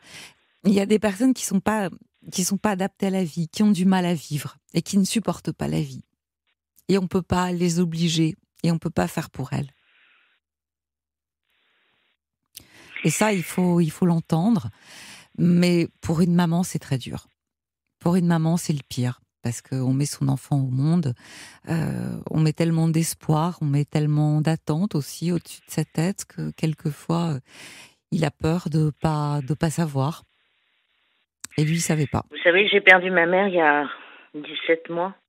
Eh bien, euh, j'ai du chagrin. Je ne veux Mm. pas dire que j'ai pas de chagrin, mais je suis pas, je suis pas encore dans, dans- comme quand je suis encore aujourd'hui avec mon fils. Oui, mais Alors, je suis très émotive, très sensible. Euh, je suis aussi bipolaire, donc euh, ça réveille euh, toutes les cordes de, de cette maladie. pourquoi vous dites que vous êtes bipolaire? Qu'est-ce qui a posé ce diagnostic? En 2011, j'ai eu ce, di- ce diagnostic de posé par la clinique à Quimperlé. D'accord. Mais euh, néanmoins, moi, je trouve, enfin, pardon, hein, je veux pas, je, remets pas du tout euh, un diagnostic posé par des médecins en cause. Mais après ce que vous aviez euh, vécu, est-ce que finalement, la, manière dont vous réagissiez n'était pas parfaitement compréhensible et légitime? Je veux dire que vous ayez eu envie de le rejoindre, perdre un enfant. encore une fois, c'est ce qui est de pire. Sans pour autant oui, qu'on soit il y a une, bipolaire. une grosse auto, autodestruction, vous savez, qui, qui s'opère aussi. Hein. Euh, on passe par la l'ivresse, on passe par euh, par beaucoup de méandres, hein, de, de choses euh, qu'on qu'on soupçonnait pas en soi. Hein. Ouais. Mais est-ce que vous êtes, est-ce que vous vous êtes fait aider? Oui, oui, oui, oui. J'ai une psy euh, sur Boulogne qui était merveilleuse, qui a réussi à me faire sortir un peu la colère, encore que euh, elle est toujours là, la colère. Ouais, bien sûr. Mais co- comme j'ai travaillé un peu sur moi, il est vrai que euh, je j'ai parfois euh, des relents de, comme là en ce moment, j'ai des relents de, Violence, oui. bien sûr. Et, et des fois, je dis bon, allez, c'est comme ça, Jackie, c'est comme ça. Ne, ne fais pas de. De toute façon, tu l'aurais pas sauvé. de toute façon, c'est comme ça. Il, est peut-être beaucoup plus heureux, beaucoup plus heureux que sur Terre. Bon, en fait, on ne sait pas. Mais ce qui est sûr, c'est que euh, vous ne l'auriez pas sauvé parce que vous n'avez pas les moyens de le faire. Non. Voilà. Ça, euh, une chose est sûre, c'est pas vous. Lui, quand il vous dit si ça me fait plaisir, c'est une provoque, mais en même temps, on dirait qu'il sait déjà ce qui va lui arriver et qu'il a déjà choisi. Et on peut rien contre quelqu'un qui est, euh, si vous voulez, qui choisit volontairement, parce que j'imagine qu'il était intelligent, euh, qui choisit volontairement son destin. Ah oui, oui, oui, oui. Vous savez, Noël, on se l'est fait dans le métro. Les mmh. cadeaux de Noël, il me les a donnés dans le métro. Et il m'avait donné trois choses. Une chose pour moi, qui était un petit cadre avec trois anges dessus. Il m'a dit, maman, tu nous mettras en photo, moi et mes sœurs, dedans. Hmm.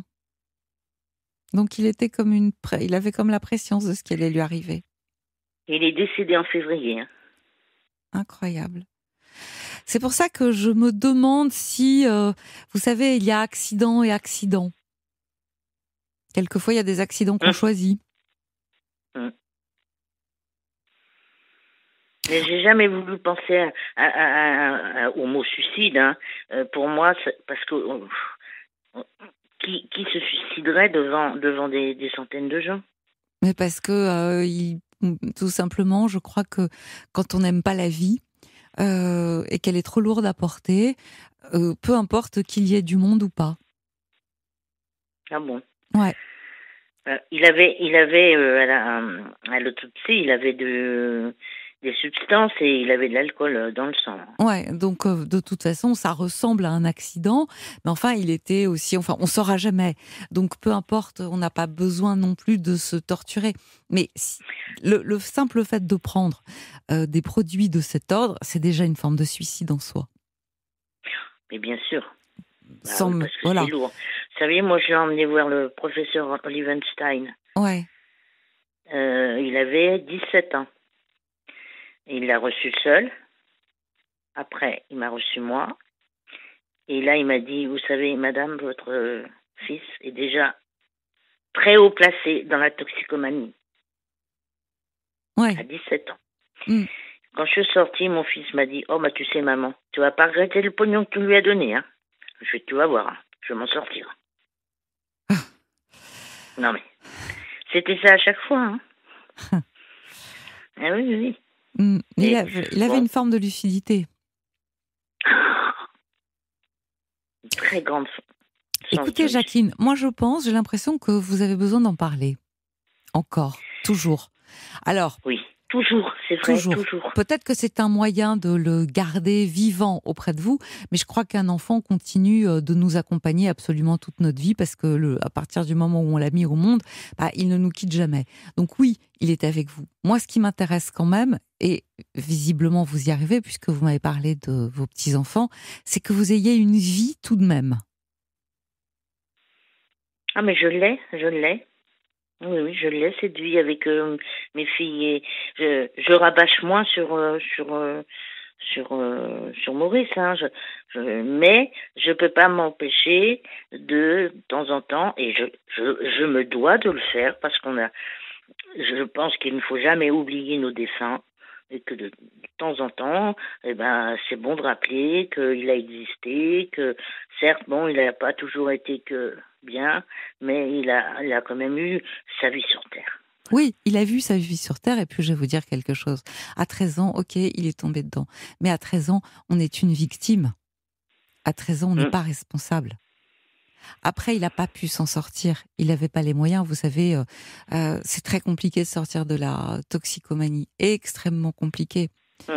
Euh, c'est pas simple. C'est pas simple parce qu'on est habitué à vivre autrement et que d'autres systèmes, euh, voilà, se déclenchent et que c'est, on peut en sortir. Hein. vraiment, on peut en sortir. Mais encore faut-il le décider. Et votre fils, il l'avait pas décidé. Mais vous savez, il m'a fait un joli cadeau. Il m'a dit un jour, tu sais, petite mère, faut pas, il faut pas que tu t'en veuilles hein, que je vis dans la rue. C'est moi qui ai choisi. Ouais. Alors ça, vous savez, c'est un cadeau. Un vrai. C'est un cadeau quand votre enfant vous dit ça. Un vrai. Oui. c'est un super cadeau. Et l'autre cadeau, je vais vous dire, il est décédé, certes. Il s'est noyé. C'est terrible. Mais j'ai la grande chance qu'on ait retrouvé son corps. Oui. Parce que je pense aux gens qui jamais ne retrouvent le corps de leurs enfants. Et ça, il n'y a pas plus terrible. Je crois que vous avez raison. C'est terrible de ne pas pouvoir euh, euh, se recueillir. Euh, la sépulture, hein, c'est quand même très important. Ça fait partie des rites qui aident justement à non pas surmonter le deuil, mais qui aident en tout cas dans l'accompagnement du deuil, parce que vous pouvez aller le voir, vous pouvez aller lui parler, vous, savez où il est et qu'effectivement, quand on ne retrouve pas euh, le corps, euh, c'est un, c'est un traumatisme encore plus grand. Alors, je vais pas vous dire que vous avez eu de la chance, parce que cette chance-là, j'aurais bien voulu qu'on la connaisse pas. Mais, euh, mais bon, si vous me dites j'ai du mal à accepter, je vous dis je comprends tellement que vous ne puissiez pas accepter parce que c'est d'une injustice folle, parce que c'est c'était un petit 13 ans et que et que vous l'aviez pas mis au monde pour ça. Après, bon, il aimait pas la vie. Visiblement, il aimait pas la vie et donc il s'est passé ce qui s'est passé. Mais sans sans l'oublier parce qu'on ne peut jamais oublier. Moi, je voudrais quand même que vous puissiez profiter. Vous disiez que vous aviez un conjoint. Il est il est toujours à vos côtés? Oh oui, il est toujours à mes côtés. Bon. Oui. Donc vous avez relativement bien. je sens, je sens comme une forme de résignation dans votre voix. Mais parce qu'on a eu beaucoup de séparations et finalement, plus on vieillit et mieux ça va.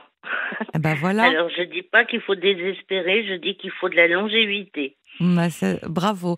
Je voudrais vous lire parce que euh, euh, il y a un très joli message que je reçois de la part de Jeanne. Euh, oh, ça fait plaisir. Ouais, et qui dit Jacqueline est une femme, est une mère extraordinaire, de bon sens et de lucidité. Admiration et affectueusement, Jeanne. Voilà. Je vous remercie infiniment, Jeanne. Mais oui, mais je, dois dire je que. Je prends dans mon cœur pour ce soir et pour toujours même. Ouais, mais je dois dire que moi aussi, vous forcez mon admiration parce que vous avez euh, un tel calme et j'ai presque envie de dire une telle sérénité face à ce qui vous est arrivé. Vous dites avec des mots simples des choses terribles, une force et un courage incroyable. Il faut tellement de courage pour affronter ce que vous avez affronté. Euh, c'est difficile, c'est difficile. Voilà. Merci. J'ai les larmes aux yeux. Hmm. C'est pour ça que je pense que vous avez besoin d'en parler. Euh, j'ai mis beaucoup d'années pour téléphoner, mais je crois que là aujourd'hui j'étais prête et aujourd'hui j'ai 63 ans. Ah. Dans un quart d'heure ou déjà ce matin? Non, c'est fait. Ah, bravo. Écoutez, Jacqueline, vous avez deux petits-enfants. C'est eux qui sont porteurs d'avenir aujourd'hui. C'est vrai. Votre fils, il est dans votre cœur, il est là, il est dans votre cœur, il est dans vos tripes, il est là pour toujours. Ah oui, il est dans mes tripes, ça c'est sûr. Bon, donc il ne, il est là, il habite avec vous. Mais faites-moi plaisir, profitez de la vie que vous avez là devant vous avec eux, parce que ça c'est important. Oui, puis mes filles sont tellement merveilleuses avec moi, j'ai pas de soucis, c'est c'est des filles, mais d'une douceur, d'une gentillesse. J'ai deux beaux, deux beaux gendres, euh, c'est identique, c'est. Mais oui, mais une jolie famille. Exact, mais c'est pas par hasard. C'est pas par hasard. Dites-vous que vous êtes aussi euh, à l'origine de tout ça. Voilà. Ben, je vous remercie beaucoup et euh, continuez, continuez de nous faire de, de, de, belles émissions et de nous apporter autant de bonheur. Merci. Merci à vous, Jacqueline. Au revoir et à une prochaine fois. Au revoir. Sur la route de vos vacances, chez vous, sur votre lieu de travail. Europe 1 vous accompagne tout l'été. Bien, alors je vous rappelle notre numéro, le 3921, pour nous rejoindre et passer avec moi ce soir à l'antenne. J'attends vos appels. Et tout de suite, je vous propose de continuer avec Geneviève. Bonsoir Geneviève. Bonsoir Caroline. Vous attendez depuis un certain temps, mais... Euh, non, euh, pas longtemps, non, non. Merci en tout cas d'être avec nous. C'est moi qui vous remercie d'avance. Je crois que vous aussi, vous avez connu un drame il n'y a pas si longtemps, hélas. Oui, j'ai perdu mon conjoint, ça fera trois ans au mois de septembre. Trois ans? Oui, au mois de septembre. Et vous étiez ensemble depuis combien de temps? 34 ans. 34 ans? Oui. C'est une belle histoire. Oui, c'est une belle histoire. Et je téléphonais pour savoir si vous aviez un remède une solution, une recette euh, pour ne plus pleurer, pour ne pas avoir de chagrin, pour ne pas penser à lui continuellement. Enfin, ça tourne à l'obsession. J'arrive pas à, à, retrouver ma sérénité, à retomber sur mes pieds. J'ai essayé des grands voyages l'année dernière, cette année, mais je pars avec mon deuil, je reviens avec mon deuil et ça ne, ça n'améliore pas mon état d'esprit. Hum, à votre avis, est-ce que si j'avais une petite pilule, je vous la donnerais pas tout de suite? Ben, j'en prends des pilules, je prends des antidépresseurs. Ouais. Je me fais suivre médicalement, oui. Oui, bien sûr, j'imagine, hein, parce que c'est tellement douloureux de perdre euh, ses proches qu'on voudrait garder pour toujours. Geneviève, dans quelles conditions euh, avez-vous perdu votre conjoint? Oh, il, il faisait de l'insuffisance cardiaque. Oui. Il avait déjà été opéré auparavant deux fois. Euh, ça s'était bien passé. Bon, enfin, je pensais qu'avec un traitement, euh, ça aurait pu continuer comme ça. Et puis, il a perdu des forces de plus en plus. Euh, voilà. Enfin, l'insuffisance cardiaque, ça pardonne pas. Hein. Non. Il arrive un moment où vous étiez préparé à cette éventualité ou c'est arrivé brutalement pour vous, soudainement? Non, j'étais pas préparée parce que j'avais l'habitude de, de l'emmener en consultation, de renouveler le traitement. Euh, non, non, on était installé dans un train-train avec son cœur, avec les visites, la pharmacie, euh, les médicaments et et, et, moi, je croyais qu'il allait durer comme ça avec son traitement. Mmh, voilà. Mais vous aviez pris avant la mesure de la gravité de, euh, de ce qu'il avait ou justement vous pensiez que c'était. Euh, ça, voilà, ça s'était chronicisé et puis on, on faisait. On, on, allait passer euh, les étapes? Oui, c'est ça. Je pensais mmh. que. Je pensais qu'il qu pourrait. C'est arrivé brusquement donc il y a eu une il y a eu une dégradation euh, progressive? Ben, il y a quand même eu une dégradation euh, les six derniers mois. Il a été de plus en plus fatigué. Ouais. Jusqu'à ce qu'il finisse par tomber de temps à autre dans la maison. Et une fois je suis tombée avec lui, on a eu bien du mal à, à se relever tous les deux. Mon Dieu. Qu'est-ce qui vous a aidé? Comment? Vous vous êtes aidé l'un l'autre? Oui. Enfin, moi, je l'ai aidé. Je, je, me suis relevée comme j'ai pu. Je l'ai, je l'ai aidé à se relever comme il a pu, quoi. Mmh. Vous vous êtes occupé de lui? Vous étiez euh, à ses petits soins? Oui, oui. Euh, je m'occupais de lui. Euh, enfin, je pense que j'ai fait ce qu'il fallait. Je pense. Bah, j'imagine. Dites-moi, comment vous vous étiez rencontrés? Oh, on s'était rencontrés par hasard au restaurant. Par en hasard appelant, Oui, en appelant un, un, garçon qui ne venait pas. Ouais. oui, non, d'une façon tout à fait banale. Bah, c'est pas banal de se rencontrer par hasard en appelant un garçon qui venait pas. Il faut bien engager la conversation. On en parlait tout à l'heure justement avec notre premier auditeur Eric. Il avait pas l'air de trouver ça évident, lui.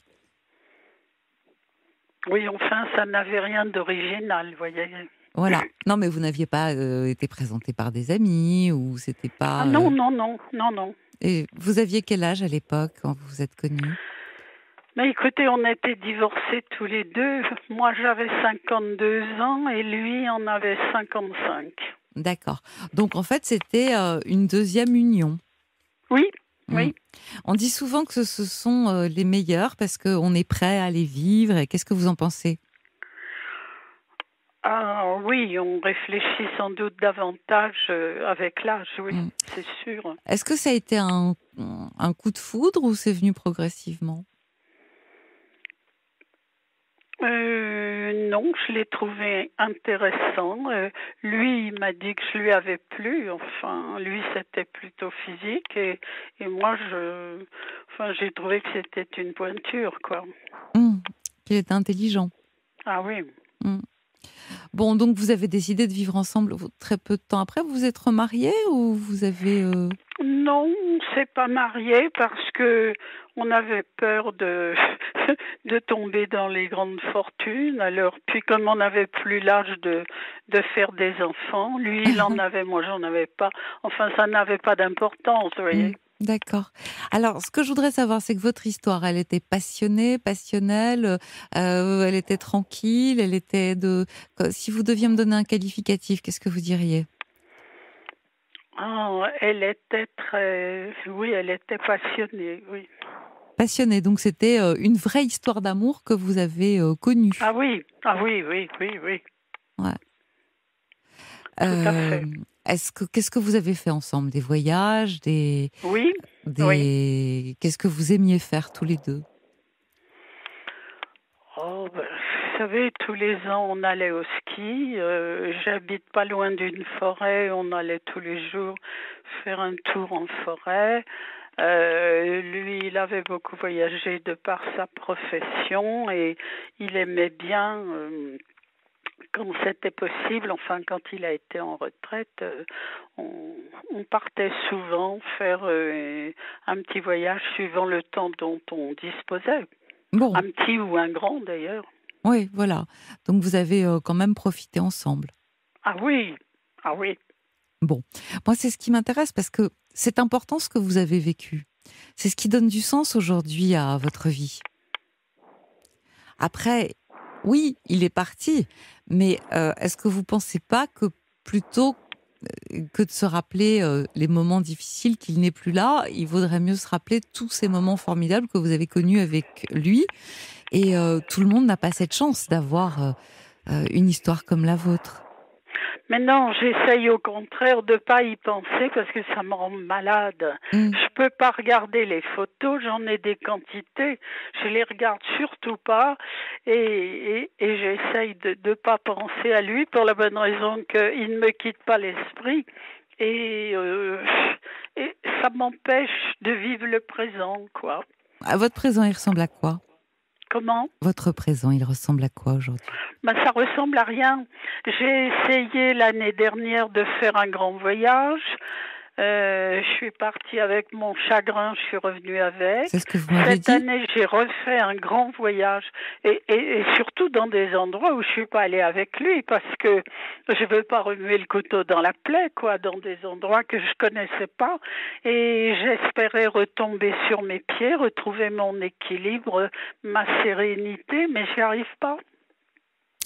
Est-ce que la seule façon, souvent, euh, c'est ce que je préconise, la seule façon, si vous voulez, euh, de pouvoir, comme on dit, profiter de l'instant présent, euh, c'est les rapports qu'on a avec les autres. Est-ce que vous êtes entouré? Non. Je crois que. Non, j'ai pas de famille. Pas de famille, pas d'amis? J'ai cinq amis au cimetière et une sixième qui a la maladie d'Alzheimer. Oui, effectivement, ça fait pas beaucoup de monde. Non, ça fait pas beaucoup de monde. Donc vous êtes très seul? Oui, complètement. Euh, Est-ce que l'idée, ce serait pas plutôt de trouver des moyens pour sortir de cette solitude? Je me demande comment. Bah écoutez, alors ce que je vous propose, c'est de rester en ligne avec moi. On doit s'interrompre quelques instants euh, le temps du journal. Je vous retrouve tout de suite après. Surtout, vous ne raccrochez pas et on se retrouve. Elle accompagne vos nuits. La libre antenne, Caroline Veille sur Europe 1.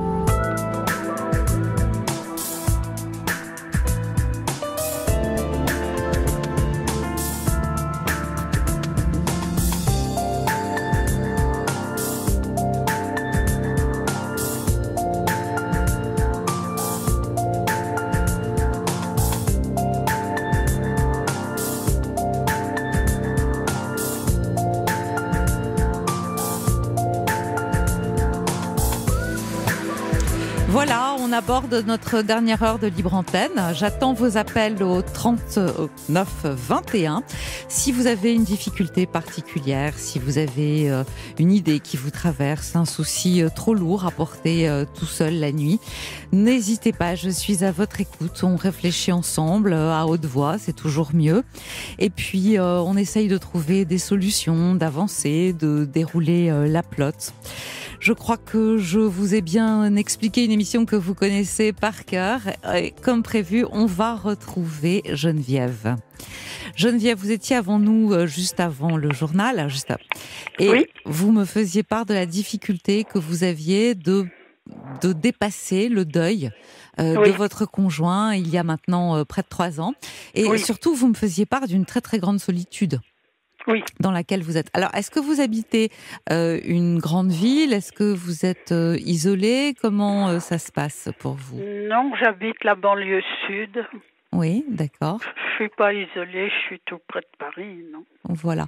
Presque à Paris. Voilà. Est-ce que vous avez eu l'idée de contacter éventuellement des associations? Euh, Pourquoi? Pas forcément pour parler de ces problèmes, mais parce que les associations, non seulement on écoute les autres, mais c'est aussi un moyen de rencontrer des gens, de nouer des amitiés. Euh, en tout cas de nouer des liens. Et le lien à l'autre, c'est ce qui nous permet, c'est ce qui nous permet de nous réveiller le matin parce que on est content, on sait qu'on va voir telle ou telle personne, on sait qu'on va passer un moment avec elle, et puis éventuellement on se téléphone quand on n'a pas le courage euh, toujours d'y aller, on se donne des nouvelles. Vous voyez, c'est ça qui maintient. Mais pas seulement. Il y a aussi, euh, il y a aussi quelquefois des activités qu'on peut partager. Qu'est-ce que vous aimez faire? Qu'est-ce que vous avez aimé faire en dehors des voyages? Qu'est-ce que vous auriez envie de faire de temps en temps? Vous savez, j'ai plus envie de faire, de faire grand-chose. De temps en temps, je me dis que je devrais déjà mettre de l'ordre dans mon appartement qui, qui ressemble un peu à un chantier. Oui. Et oui, mais je ne suis pas encore arrivée. Bah oui, parce que vous vous dites pourquoi faire? Oui, c'est ça, oui. Voilà. Maintenant, euh, si vous vous mettez en situation de rencontrer euh, non pas beaucoup de monde, juste quelques personnes, vous voyez, euh, qui sont des compagnies, qui sont des gens bienveillants à votre égard, peut-être que ça pourrait aussi vous aider. Ah ben, vous savez, moi j'ai un, caractère à décourager un régiment. Euh. C'est-à-dire, moi je vous parle avec lui, vous depuis tout à l'heure et je vous trouve plutôt douce et puis euh, bon, c'est vrai, lucide hein, sur euh, ce que vous avez traversé. Que vous soyez, que vous soyez déprimé, que vous soyez triste et que vous soyez dans le chagrin parce que vous aimiez cet homme que vous avez perdu, c'est bien légitime. Mais en même temps, si vous aviez aussi des amis euh, avec lesquels partager un moment, euh, un goûter, un thé, un déjeuner. Peut-être que ça vous aiderait aussi. Mais je vous ai dit, mes amis, je les ai perdus parce que ça, j'ai bien entendu. J'ai 88 ans, alors je suis pas jeune et, et elles étaient toutes euh, presque plus jeunes que moi. Est-ce que vous vous déplacez facilement? Oui, j'ai ma voiture, oui. Donc vous conduisez? Oui.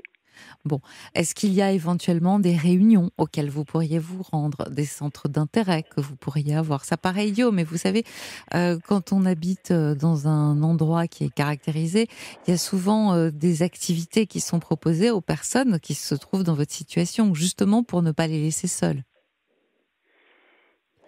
savez, les jeux, ça m'intéresse pas. Hein. Non, mais c'est, je pense pas forcément à des jeux. Je pense à des conférences. Je pense à des, je pense à des discussions. Je pense à des tables rondes. Je pense à des choses comme ça qui sont forcément euh, organisées. Ça permet de rencontrer du monde. Et puis ensuite, euh, pourquoi pas de temps en temps d'aller au cinéma, de euh, prendre un thé après. Vous voyez et les heures passent et elles sont agréables. Elles sont en tout cas plus agréables que de les passer seules.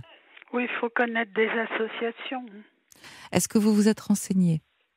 Non, je ne me suis pas renseignée, non. Alors, je vais vous dire, la mairie constitue généralement euh, une mine d'informations parce qu'ils ont pensé aux personnes qui se trouvent, euh, voilà, dans le cas de figure dans lequel vous êtes, c'est-à-dire euh, seul, sans famille, sans amis, avec effectivement, comme vous dites, un certain âge, mais vous n'êtes pas la seule dans ce cas. Vous êtes euh, quelques-uns, quelques-unes, et euh, il y a des lieux et il y a des endroits, enfin il y a des, activités qui sont prévues à cet effet et qui n'ont pas forcément à voir avec les jeux. Je vous demande pas de jouer euh, au loto ou au Pictionary, hein, c'est pas de ça dont il s'agit. J'imagine bien que vous n'avez pas forcément le cœur à jouer, mais à parler, oui. À parler, oui. À échanger, oui. À rencontrer, peut-être. Oui, oh, j'ai une mairie qui propose des petits voyages, euh, non, des mais grands aussi, mais... En dehors des voyages En dehors, des, voyages. des voyages Ouais. Oh non. Rien d'autre il n'y a pas un centre, euh, il n'y a pas un centre près de chez vous, euh, vous savez où il y a une maison de la culture, etc. Où il y a des choses qui sont organisées. C'est ce que oh, je vous disais. Les jeunes, ça. Pas seulement pas seulement. Il y a aussi, euh, on pense aussi à des gens comme vous. Vous savez vous servir d'Internet? Est-ce que vous avez été euh, éventuellement contacté euh, euh, des gens qui travaillent dans le bénévolat? C'est ce que je vous dis. Les, Ah non, écoutez, j'ai pas envie de me dévouer. Parce non, je ne vous parle pas de vous dévouer. Je parle des gens. Quand j'étais jeune, je me suis beaucoup dévouée pour différentes associations, groupements, etc. mais je le ferai plus maintenant. Déjà, je suis quand même Enfin, je ne veux pas dire que je suis fatiguée, mais euh, vous êtes fragile. Le, le, dynamisme pour faire ça. Ouais, vous êtes fragile. Ah oui, d'autant plus euh, avec mon deuil, euh, ça, ça. Le médecin m'a dit oui, il est mort, vous êtes morte avec lui. Ben, je dis oui, il y a quelque chose comme ça. Je suis en bonne santé, remarquez.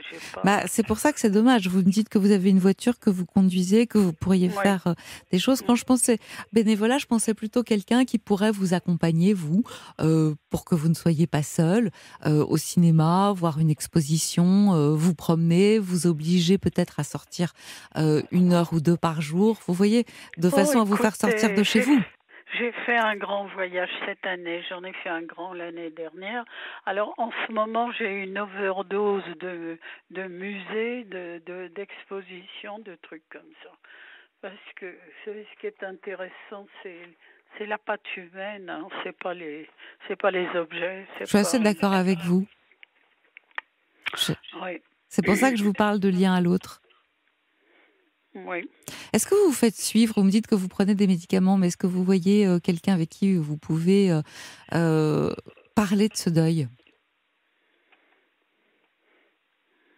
Oh, ben, mon médecin, oui. Non, mais c'est pas un médecin qu'il vous faut. Moi, je parle d'un psychanalyste ou d'une psychologue. Ça n'a rien à voir avec les troubles ah, mentaux.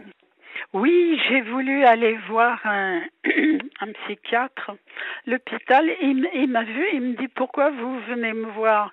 Euh, je lui dis, je suis dominée par mon deuil. Alors je, je lui raconte. Il m'a jaugé comme euh, comme on jauge le bétail. Il m'a regardé de la, de la tête aux pieds. Il m'a dit que j'étais pas pour lui et il m'a envoyé voir une psychologue. Ah. Alors je suis tombée sur une jeune femme tout à fait charmante qui voulait que je lui raconte ma vie. Mais je suis pas là pour raconter ma vie. Une fois que j'ai dit que j'étais très heureuse et que maintenant j'ai beaucoup de chagrin, ben j'ai tout dit. Hein. Moi, ce que je veux, c'est un remède, c'est un, un, médicament, un pansement, une recette, enfin, quelque chose qui me... Un mode d'emploi. Un mode d'emploi, comment faire pour ne plus souffrir voilà. Ouais, mais euh, je vais vous dire, le remède, en fait, il est en vous, parce que seul vous pouvez prendre la décision, non pas de ne plus souffrir, parce que vous allez continuer à vivre avec cette douleur, euh, autant, euh, autant vous le dire, mais néanmoins, même quand on vit avec la douleur, on peut arriver à trouver du plaisir aux choses. Et le plaisir, vous n'en avez plus. Par exemple, voilà. Et moi, ce que je reçois comme texto à votre attention, c'est une dame qui dit, moi, j'ai une amie qui va à la maison des aînés et c'est formidable. Pourquoi? Parce que vous retrouvez des gens qui sont dans votre situation, qui eux aussi ont connu, ont été frappés par le deuil, qui eux aussi ont du mal à surmonter, mais qui veulent faire quelque chose de cette solitude et ne pas rester et s'enfermer dedans et voir s'il peut y avoir une ouverture vers l'extérieur. Je vous dis, le remède, c'est l'extérieur. C'est pas de rester seul, vous, avec vous. Ah oui, mais l'extérieur. Euh, bah oui. Seul l'extérieur peut vous aider à sortir de vous. Je vais pas me mettre à faire les bistrots. euh, Non, hein. je vous parle pas de faire les bistrots. Je vous parle par exemple de cette suggestion. C'est ce que je vous disais tout à l'heure. Ça s'appelle la maison des aînés. Il y en a d'autres euh, qui portent d'autres noms. Mais c'est très difficile. mais- Maintenant, je vais vous dire la vérité, c'est difficile de guérir d'un deuil, de guérir euh, d'un homme qu'on a aimé, avec lequel on a passé 36 ans. Ça se fait pas comme ça. Ah Mais non. on peut arriver à trouver du plaisir malgré tout, quelques heures par jour, et ne pas rester enfermé. Voilà. Rester enfermé, c'est-à-dire accepter, euh, accepter que d'autres puissent partager un moment avec vous. Encore faut-il se mettre en situation d'aller vers les autres. Et Oui, personne ne va venir chez vous et sonner. Hein. non. Ah, ça, je le sais. Mais je suis pas une personne attirante. Je l'ai bien vu dans mes voyages. Vous savez, c'était des voyages organisés. Bon, ben, euh, il y a des couples, les couples restent entre eux, ou alors il y a des dames euh, qui sont amies et, et qui font un voyage euh, ensemble. Alors elles partagent euh, la même chambre. enfin, elles font un couple à, à elles deux. Mais moi, je dérangeais. J'étais un, un espèce de- d'élec- d'électron libre là-dedans. Je, je, je dérangeais plutôt qu'autre chose. Pourquoi vous vivez, vous, vous vivez comme quelqu'un qui dérange? Qu'est-ce que vous pouviez bien faire de dérangeant? Ben, parce que moi, euh, si j'avais quelque chose à demander, euh, euh, on me faisait comprendre que on l'avait déjà dit ou euh, que c'était une répétition. Enfin, euh, Ah bon presque, presque, vous êtes en trop, quoi. Vous savez. Ouais. bah vous, êtes, vous êtes tombé sur des gens qui manquaient de bienveillance. Ah, quand ils ont beaucoup de personnes à s'occuper, hein, euh, vous savez, euh, les gens ont leurs préférences, euh, c'est humain. Hein. Non, Ils mais se tournaient plutôt vers les couples, tout ça. bah, euh, qui excusez-moi. étaient gays, qui leur apportaient quelque chose. Je suis déjà pas d'un d'un extérieur tellement euphorique. Euh. Non, vous pouvez pas. euh, Au regard de tout ce que vous avez euh, traversé trois ans, euh, vous êtes dedans et vous l'avez dit tout à l'heure, euh, vous avez perdu vos amis, vous êtes dans un état de solitude. Bien sûr que vous pouvez pas être en train de penser à des choses forcément légères. Mais est-ce que c'est pas leur métier que d'aller justement vers des personnes comme vous de façon à ce que vous puissiez passer vous aussi un bon moment? Savez, dans les voyages organisés, hein, déjà il y avait une majorité d'Allemands. Là, dernièrement, euh, celui que j'ai fait, je suis allée jusqu'à Pékin. Voyez C'est loin. Vous, Oui. êtes... vous avez euh, de la vitalité. Hein Ben, je, c'est-à-dire que j'avais beaucoup mis. Oh, ben, l'année dernière, j'a- j'avais été au-dessus de l'Australie. Non, mais je, j'avais beaucoup misé sur ces voyages. Je pensais que déjà c'était des voyages que j'avais pas fait avec mon mari parce que je voulais pas retourner dans des endroits où j'avais déjà été avec lui pour pas remuer le couteau dans la plaie. Donc je voulais aller dans des lieux que je connaissais pas. Et puis je pensais que ça m'aurait rendu ma ma sérénité, ma que ça m'aurait mis les pieds sur terre, mais non, ça m'a non, Ouais. Vous avez. euh, ça m'a rien apporté. Ça a été un coup d'épée dans l'eau. Ouais. Et de la fatigue. Mm. Mais je de crois la sur... fatigue. J'ai vu quelques endroits, quelques monuments, évidemment, euh, qui valaient la peine. On peut pas dire que ça vaut pas la peine, mais, mais euh, psychiquement, ça, ça m'a pas apporté l'effet escompté. Ouais. Moi, je vais vous dire, je crois que la personne que vous avez vue, vous parliez tout à l'heure de cette psychologue, vous n'avez pas besoin de parler de votre vie et de ce que vous avez vécu. Je pense que vous avez tout simplement aussi peut-être besoin de parler de lui, de ce qu'il était, de ce qu'il a représenté pour vous, des choses que vous avez faites ensemble. Parce que ça, c'est un moyen. Alors, vous allez me dire, je peux pas regarder les photos, ça me fait du mal. Et en même temps, garder ce chagrin à l'intérieur de vous euh, qui oxyde tout euh, sur son passage, euh, c'est pas la solution non plus. C'est pour ça que moi je vous parle d'aération. D'aération et honnêtement, je vous assure que euh, les associations, les, les certaines maisons, certaines propositions d'activité, elles ne peuvent vous faire que du bien. C'est pas l'activité en elle-même, je le répète. On s'en fout de l'activité. C'est le fait d'aller et de voir des gens qui partagent, qui vivent la même chose que vous. Oui, voilà. qui ont vécu des drames comme ça. Ben voilà, parce que au moins euh, elles savent ce que vous traversez, vous savez Oui, de quoi oui. il est question, vous Oui. êtes sur un même terrain d'entente et on perd pas son temps avec euh, des fioritures. C'est pas qu'on se rate contre les drames, c'est qu'on sait ce que peut traverser l'autre et c'est différent. On Moi, a des rapports plus je authentiques. connais pas d'association comme ça, moi. C'est pas très difficile à trouver sur internet ou tout simplement en se renseignant. Encore une fois, à la mairie, même si la mairie elle vous propose des petits voyages, je peux vous dire que la mairie elle a la liste des associations et que ça vaut la peine d'y faire un tour. Bon, il faudrait que j'aille à la mairie. Pourquoi pas En tout cas, si moi j'ai pas de pilule, mais euh, j'ai la mairie. Oui.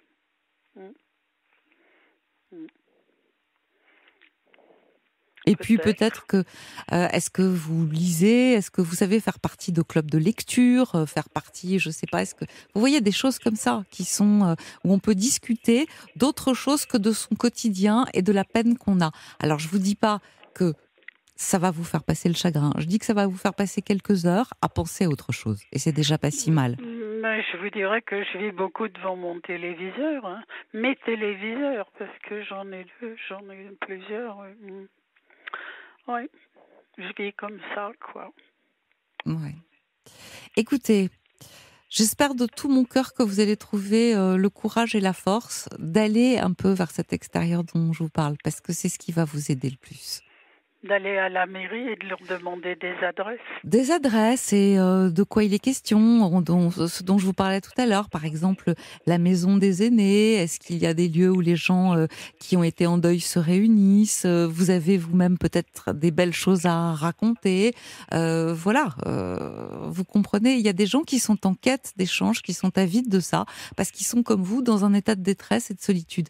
Et il s'agit d'unir des, des voilà, euh, d'unir des vies, de croiser des, des, des chemins et puis euh, d'avoir euh, au moins du plaisir à passer un moment ensemble. Oui, bien sûr, je comprends, mais il faut trouver, oui. Ouais. faut trouver. Je vous souhaite euh, bon courage, Geneviève. Moi, j'en ai besoin. Je vous souhaite bon courage, vraiment. J'en ai besoin et pas qu'un peu. Oui. Ouais. Je vous remercie, vous êtes très gentille. À très bientôt. Au revoir. Au revoir et merci encore. La libre antenne sur Europe 1. Caroline Veil. Et on va poursuivre avec euh, Laurence. Bonsoir, Laurence. Bonsoir Caroline. Bien, vous nous appelez. Je crois que vous aussi, vous avez eu euh, votre lot. Ah oui, à, à- comme vous dites. Comme vous dites. Je vous laisse nous raconter. Je préfère. Euh, bah, je vais vous dire que, bah, par exemple, je suis née prématurée. Oui. Donc, je suis restée un, un mois séparée de ma maman. Mm. Euh, C'était en 66. Je suis née en 66. Je vais avoir 50... J'ai eu 53 ans. Oui. Et après, par exemple, bah, j'ai fait une anorexie mentale À quel âge? À euh, 12 ans et demi. Ah oui. Qu'est-ce qui a motivé Enfin, comme ça, c'est arrivé. Il y avait une raison particulière. euh, Vous étiez en difficulté? Euh, oui, et puis je pense que c'était des- du fait de mon, de mon éducation aussi. Qui ressemblait Ah, à quoi Je pense que mes parents étaient un petit peu responsables quand même parce qu'ils ne me laissaient pas sortir et puis il fallait à tout prix avoir des bons résultats et moi je les ai pris au mot et puis Oui. une fois je jouais au foot au football avec une copine d'école et puis et avec ses copains, ses, ses frères et sœurs et ses copains et ma maman m'a demandé qu'est-ce que tu as fait? Et c'était un dimanche soir. J'ai joué avec Cécile au foot. Alors elle me dit bah, si tu as joué au euh, avec Cécile au foot, tu as forcément joué avec des garçons. Je lui ai répondu oui. Alors elle m'a dit désormais je veux plus que tu ailles vers Cécile. Et moi je me suis enfermée dans ma chambre et puis je me suis dit bah maintenant je mange plus. Ah, Voilà, c'est ce que je me suis dit. en fait, c'était une Et forme de vengeance. hein, ça, ça dure tout le temps maintenant, mais, mais je, je ne fais plus de depuis très peu de temps de, de comment dire de, de vomissement. D'accord. Hein. Et, Et alors euh, après, ben j'ai passé mon baccalauréat. Je l'ai eu avec euh, euh, 27, 27 points à rattraper.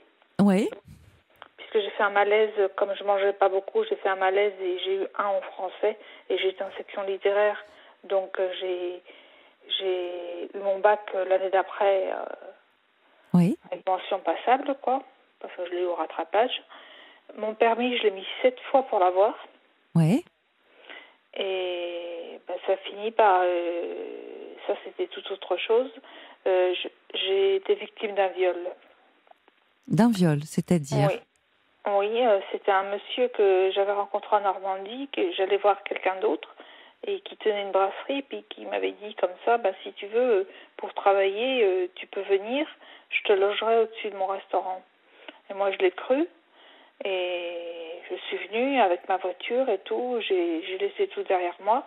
J'ai, j'ai- à ce moment-là, j'étais au RMI, donc j'avais pas grand-chose, et lui m'a, fait miro- miroler, miroboler une pas, pas un excellent salaire, mais enfin quelque chose de mieux, quoi. Et en fait, il m'a, il m'a sodomisé. Oh là Mm. Et c'était très dur parce que j'ai, j'ai hurlé non, non, non, non, ça m'a fait très mal.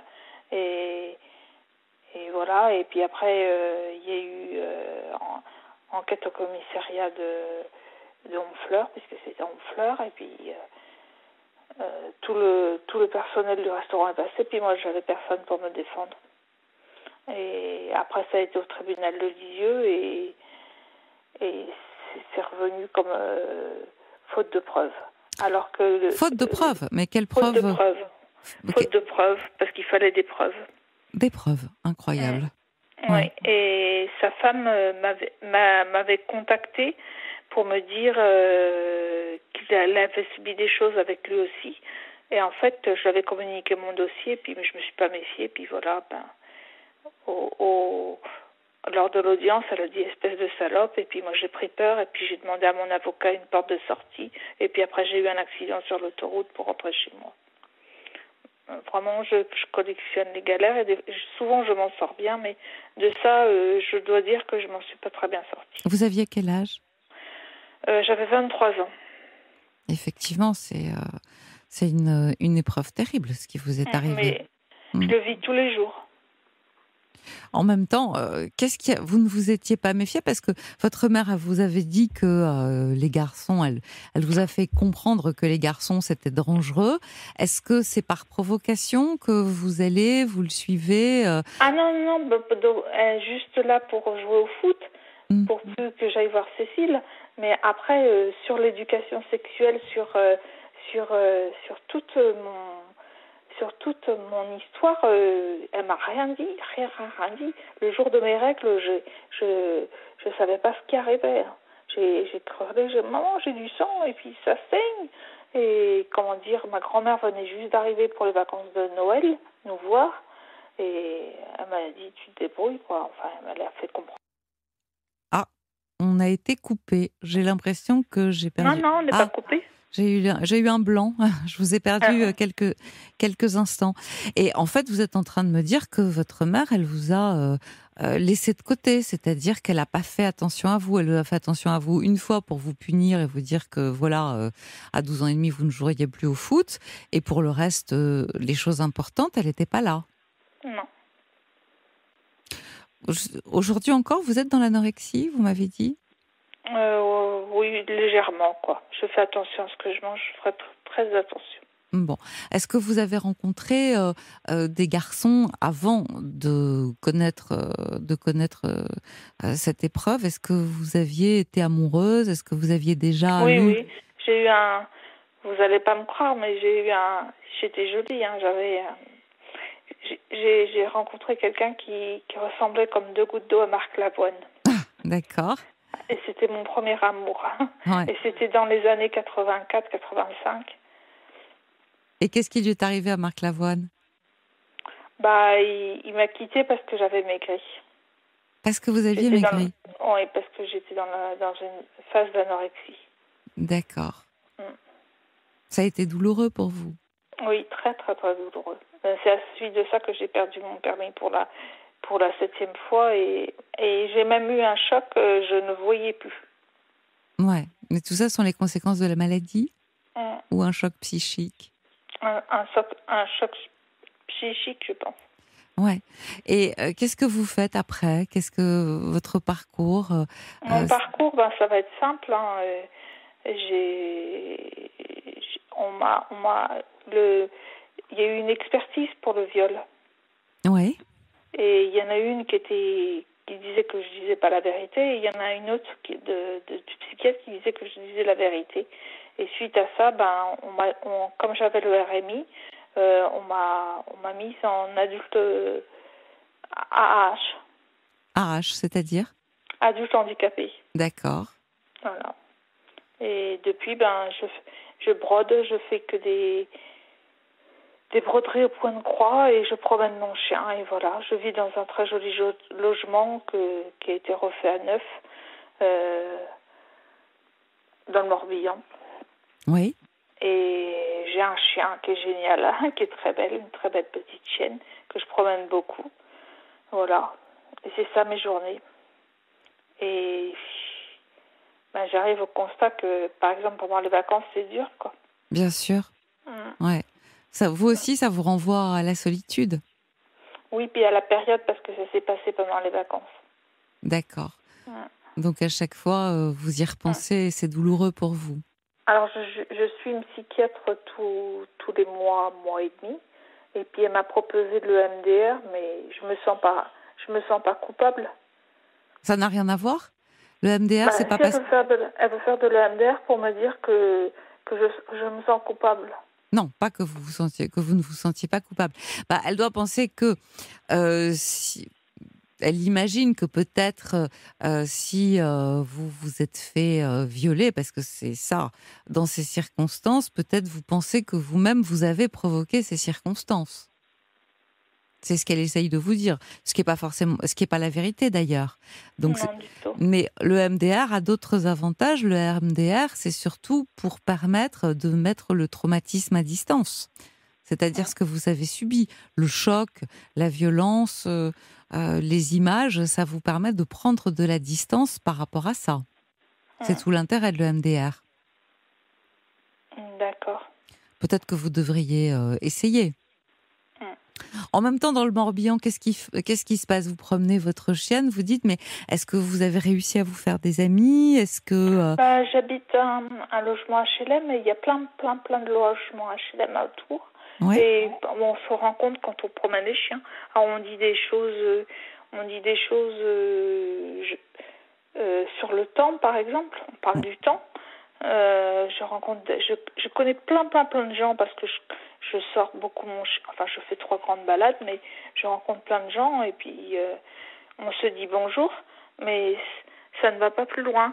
Et là, comme c'est l'été, je me suis mise en short et on a vu, euh, si, si vous voulez, suite, j'ai oublié de vous dire que suite à ce viol, je me suis défenestrée du quatrième étage, à savoir que, ben voilà, j'ai sauté du quatrième étage et pas, là où j'habite.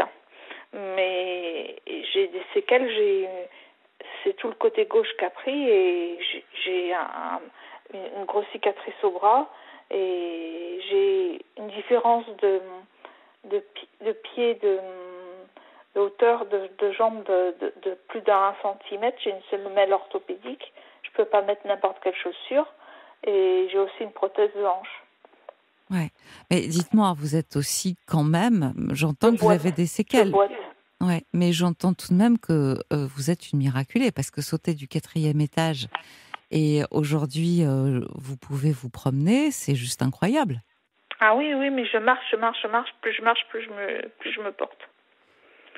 Et c'est ce que je vous disais dans, dans ma présentation que je vous ai eue en, au départ, que je vous ai dit que j'étais prématurée. Tout ce qui m'est arrivé, à chaque fois, j'ai eu euh, des, des gros trucs, mais à chaque fois, j'ai eu des, comme des, des récompenses après, quoi. Des, Des récompenses, c'est-à-dire bah, t'as, t'as souffert, mais on va te donner une récompense, quoi. Alors, euh, Ouais. Bah, Par exemple, euh, je suis pas tout à fait d'accord avec vous. Euh, le viol, ça, il n'y a pas eu de récompenses qui ont suivi. non, voilà, pour ça, il n'y en a pas. On est bien d'accord. Mm. Mm. En plus, il me vient à l'esprit un truc que j'espère, parce que je n'ai pas de nouvelles et je, sais- je sais son nom et je sais où il était et, et je peux le retrouver, mais je, je peux pas le retrouver, mais je m'y connais pas bien en internet, mais je, je voudrais savoir, je pense qu'il doit être mort maintenant, mais ça, ça me taraude ça un petit peu. Alors, vous parliez de vos cicatrices. Tout à l'heure, euh, tout à l'heure, vous disiez que quelqu'un vous avait fait une réflexion sur vos cicatrices. Alors du coup, bah, je, je lui dis, elle me dit, mais t'as eu ça de naissance ou t'as eu un accident? Puis du coup, c'est parti. Et puis, j'avais été exaspérée par du bruit euh, le matin. J'allais la promener, j'avais ma chienne vers 11 heures. Et c'est arrivé vers 11h30 et puis elle m'a dit ça. Elles étaient deux à me demander ça et puis je les connais bien. J'aime bien les rencontrer parce qu'elles me disent toujours bonjour. Et, et je leur ai dit, euh, ben, j'ai été violée, je me suis défenestrée du quatrième étage. Et ça n'a pas été plus loin. Puis après, j'ai regretté. Puis après, j'avais l'impression que tout le monde le savait. Et puis non, non. Et puis, même si tout le monde le savait, ça me, ça me dérangerait pas. Il n'y a pas à en avoir honte. Ça a été un Mm. moment terrible. Vous avez vécu quelque chose de très dur et euh, vous avez euh, réagi. euh, c'est extrêmement douloureux et violent. hein. Mm. Comment vous vous en êtes sorti de cette défenestration? Pendant combien de temps vous avez été hospitalisé? Oh, pas trop longtemps. J'ai j'ai été 15 jours en soins intensifs dans le coma. Et après, euh, euh, trois semaines, euh, le, la jambe gauche surélevée sur un allongé. Et après, de la rééducation pendant trois mois. Puis après, on m'a, on m'a, on m'a remis une, pro- une prothèse de hanche. Dites-moi, est-ce que dans ces moments-là, par exemple, votre mère qui avait été si dure avec vous, elle a été présente? Oui, elle est venue me voir à l'hôpital, mais c'est toujours pareil. Mes parents sont très stricts et quand je me plaignais après que j'avais mal, eh ben ça passait pas quoi. Au début, ça passait un peu, puis ça passait pas. Il n'y a pas beaucoup de reconnaissance de la part de mes parents. Et vous savez, dans ma famille, euh, ils sont très peu à le savoir. Je sais, je sais même pas s'il y en a qui sont au courant. Ils sont très peu à savoir et ils savent pas à quel point je me démène. Oui, bien Mm. sûr. Et ce soir, j'ai un petit peu. Là, j'avais les larmes aux yeux parce que je trouvais que c'était triste quand même de, de se battre toute seule comme ça contre, contre des montagnes. Ouais, je comprends ce que vous dites. Euh, c'est la solitude. Oui, il y a la solitude aussi et, et ma maman me dit toujours de faire des activités, tout ça. Puis j'ai mon chien, alors c'est pareil, j'avais de la rééducation et la kiné, je voulais, puis je préférais faire la kiné en allant marchant avec mon chien. Ça me faisait autant de bien que. Mais j'ai peur aussi du contact. euh, je vous appelle un peu aussi pour, parce que j'ai dit assez de, de, de personnes euh, que, que je m'étais défenestrée, que j'avais été violée. J'ai peur un peu du contact avec les autres parce que les autres, ils ont une famille, ils ont des, ils ont des enfants, tout ça. Moi, j'ai pas d'enfants, je suis seule. Puis je suis tellement liée à mes parents aussi et surtout à ma maman que j'envisage mal le, le futur en fait. Oui, vous avez peur. Parce qu'elle va avoir 80 ans et comment je vais faire moi quand elle va plus être là euh, C'est difficile d'être toute la journée tout seul. hein. Très. Très. C'est pour ça Avec qu'elle. tout ça en plus. C'est pour ça qu'elle vous dit de faire des activités. C'est pour essayer de rencontrer du monde. C'est pas pour faire l'activité. C'est pour voir un peu d'autres mondes qu'elle, pour que vous fassiez euh, des connaissances. C'est de ça dont il s'agit. Alors j'avais écrit au président de la République pour lui raconter ça et lui dire qu'est-ce qu'il me proposait. Et j'avais eu un rendez-vous à la préfecture et puis on m'a envoyé un, euh, voir un service euh, de femmes battues et tout ça. Mais à l'époque, c'était pour les aider justement les femmes battues. Mais quand j'ai été le voir, moi, je me sentais plus dans le camp des femmes battues que que des femmes euh, ou violées ou des femmes violentées que que Ouais. celles qui devaient les aider, quoi. Bien sûr. Vous comprenez ce que je veux dire? Oui, tout à fait. Tout à fait. Vous aviez besoin, vous, d'être aidé et pas d'aider les autres. C'est ça que vous êtes en train de me dire. Bah oui. Ouais. Mm. Et aujourd'hui, alors, euh, est-ce que vous êtes dans le Morbihan? Est-ce que vous allez aussi un petit peu à la plage? Est-ce que vous en profitez pour vous baigner? Rien, jamais? Non, non, j'y vais pas. Pourquoi? J'y vais, j'y vais, euh, j'y vais avec euh, ma chien? chienne dans Ouais. le, le reste de l'année. Mais là, c'est interdit aux chiens. Alors, euh, le- je pourrais aller sur le sentier côtier, marcher un petit peu. Mais, comment dire, ma chienne ne pourrait pas se baigner, quoi. Ouais. C'est interdit du mois de juin au mois de septembre aux chiens, là où je vais. En fait, c'est le chien et votre seule compagnie. Oui, puis c'est ma priorité. D'accord. Bah, vous n'avez qu'elle. Si je peux pas la rendre heureuse, ben. Hmm. Mais en même temps, c'est pas mal parce que elle a l'avantage, elle a la vertu de vous obliger à sortir et de parler avec d'autres gens, même si Ah ça oui. n'est que de la météo. Euh, au moins, vous parlez à du, au moins vous parlez à du monde. Hmm. Et vous n'avez jamais envisagé peut-être d'aller un peu plus loin euh, dans les conversations que euh, le temps qui fait? Vous vous avez jamais eu envie de proposer euh, à ces gens que si, vous on rencontrez? Ouais. J'arrive à aider mes voisins, euh, ma voisine handicapée aussi, lui tenir le tapis, lui tenir la porte. Tout à l'heure, j'ai rencontré une mamie, euh, une mamie toute handicapée. La pauvre, elle avait des chaussures de, des chaussures, je trouve, comme, comment ça s'appelle, orthopédiques.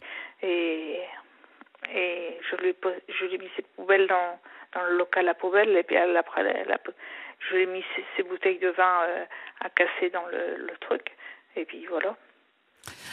Ouais. Moi, j'aime bien rendre service. Mm. Les handicapés aussi, à Fauteuil, il y a un centre euh, APF jusqu'à, juste à côté de là où j'habite. Eh Ben, j'aime bien euh, discuter avec eux. Bon. Il y en a un qui l'avait, en- il avait enlevé ses chaussettes et puis il était en train de bronzer au soleil. Eh ben, je lui ai dit, Nicolas, t'as oublié de me mettre ta crème solaire. Hum. bah, je la mettrai après. Je lui ai dit, bah, reste pas trop longtemps ici parce que tu vas pas tarder à avoir un coup de soleil, tu sais, c'est mauvais. Et puis, il me dit, non, non, t'inquiète pas. Puis, je, je, je, je continue ma route. Et il me dépasse et me dit, ouais, ouais, t'as raison. Ouais. Mais vous voyez, rien que le fait d'avoir euh, échangé avec quelqu'un et d'en parler, euh, il y, a, il y a le sourire qui vous vient, ça s'entend. Ah oui, oui.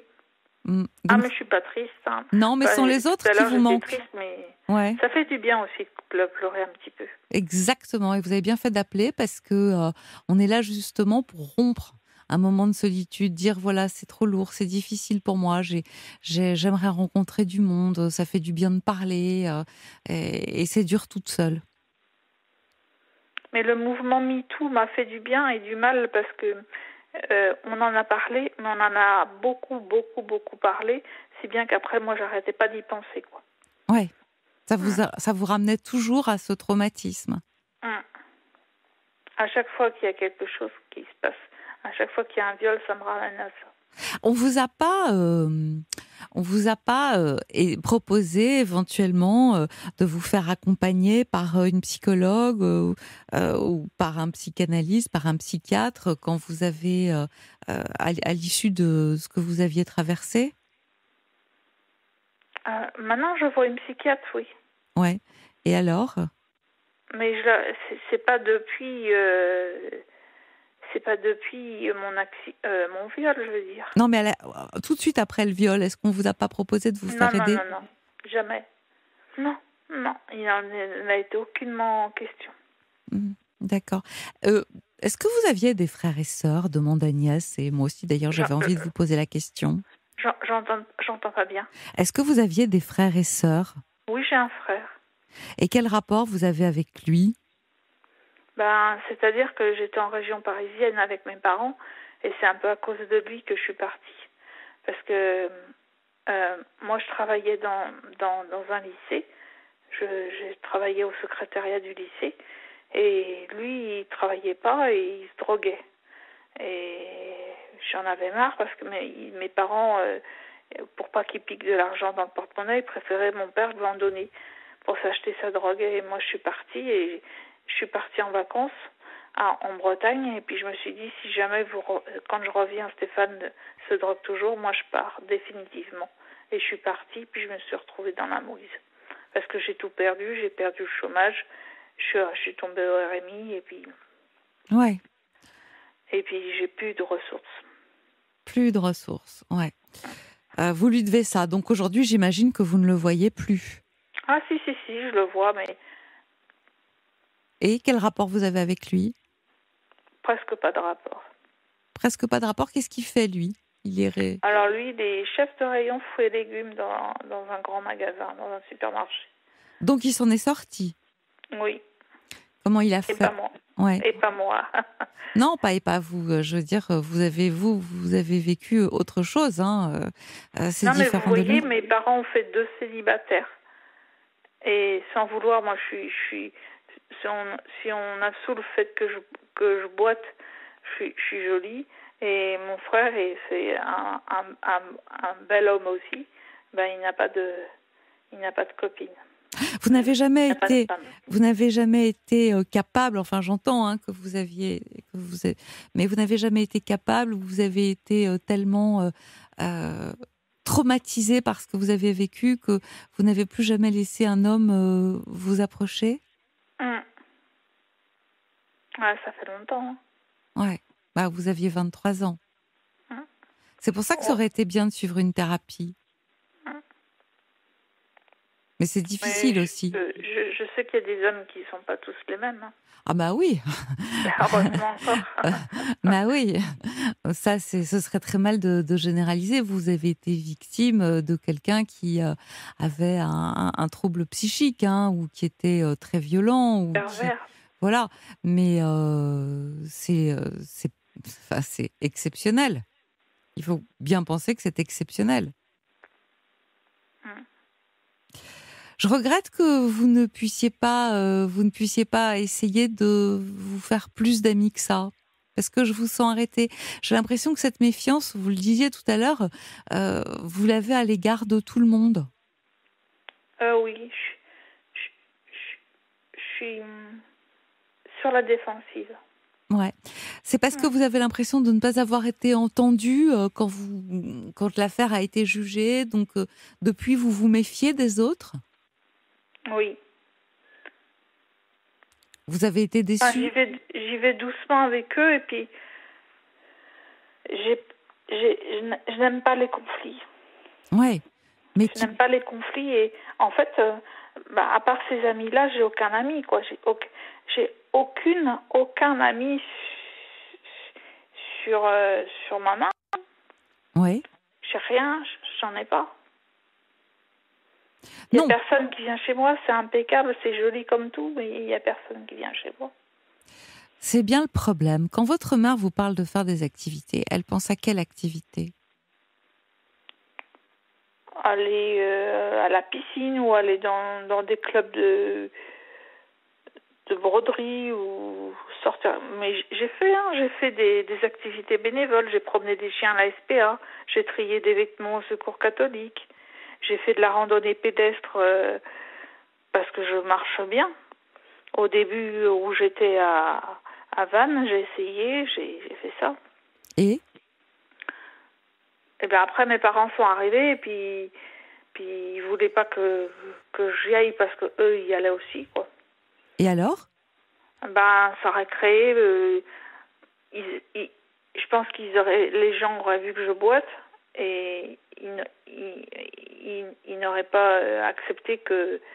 Mes parents n'auraient pas accepté que eh, ta fille boite ou et ceci et, et pourquoi vous. euh, enfin, je sais pas pourquoi elle boite ou je sais pas, ils n'ont pas voulu être embêtés. Bah, et, et vous avez cédé? Vous avez obtempéré? Bah oui.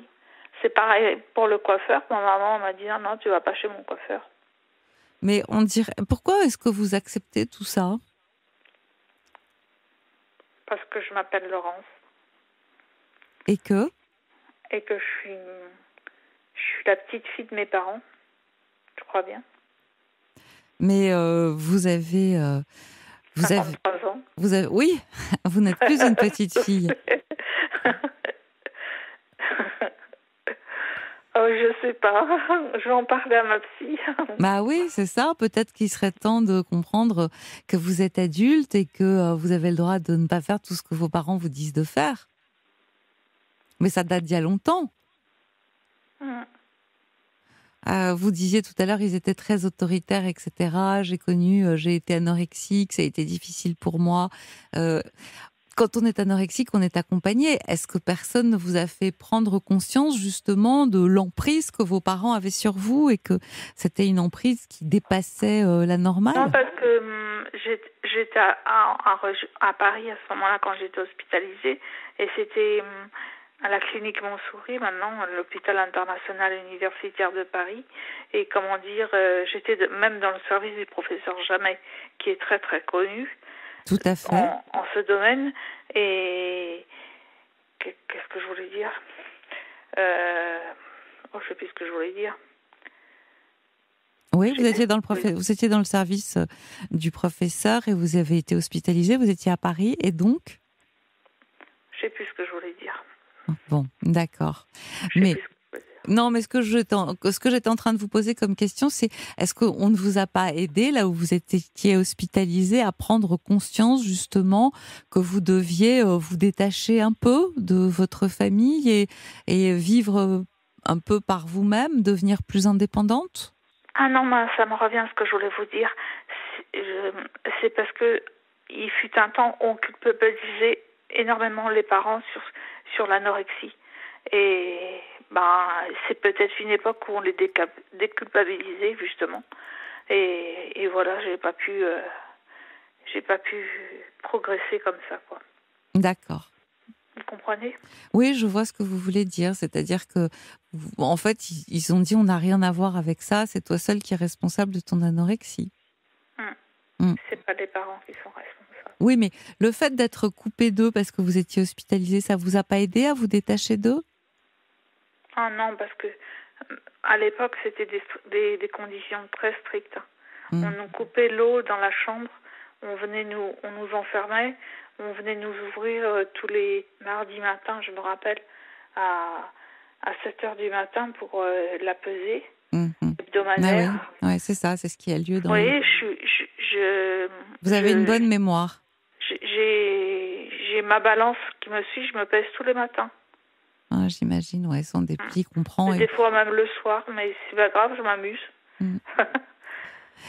Écoutez, Laurence, euh, je comprends votre solitude et je suis contente d'avoir pu parler en tout cas euh, un ah, moment avec vous. Je vous remercie de votre appel et je vous remercie surtout de votre témoignage. L'idée, c'est que il puisse aider aussi euh, d'autres personnes qui qui connaissent des épreuves aussi lourdes que les vôtres. Voilà, je vous remercie de votre appel. Au revoir. D'accord, au revoir. Sur Europe 1, Caroline Veil vous écoute et vous accompagne.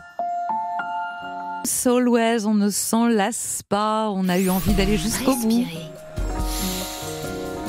Détendez-vous. C'est l'été sur Europe 1. Ça aussi, je m'en lasse pas, ce petit jingle, bienvenue, bien ensoleillé.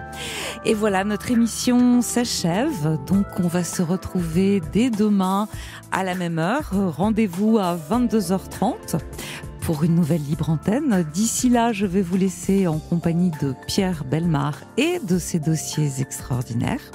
Je vous souhaite à tous une très belle nuit sur Europe 1 et je vous retrouve demain.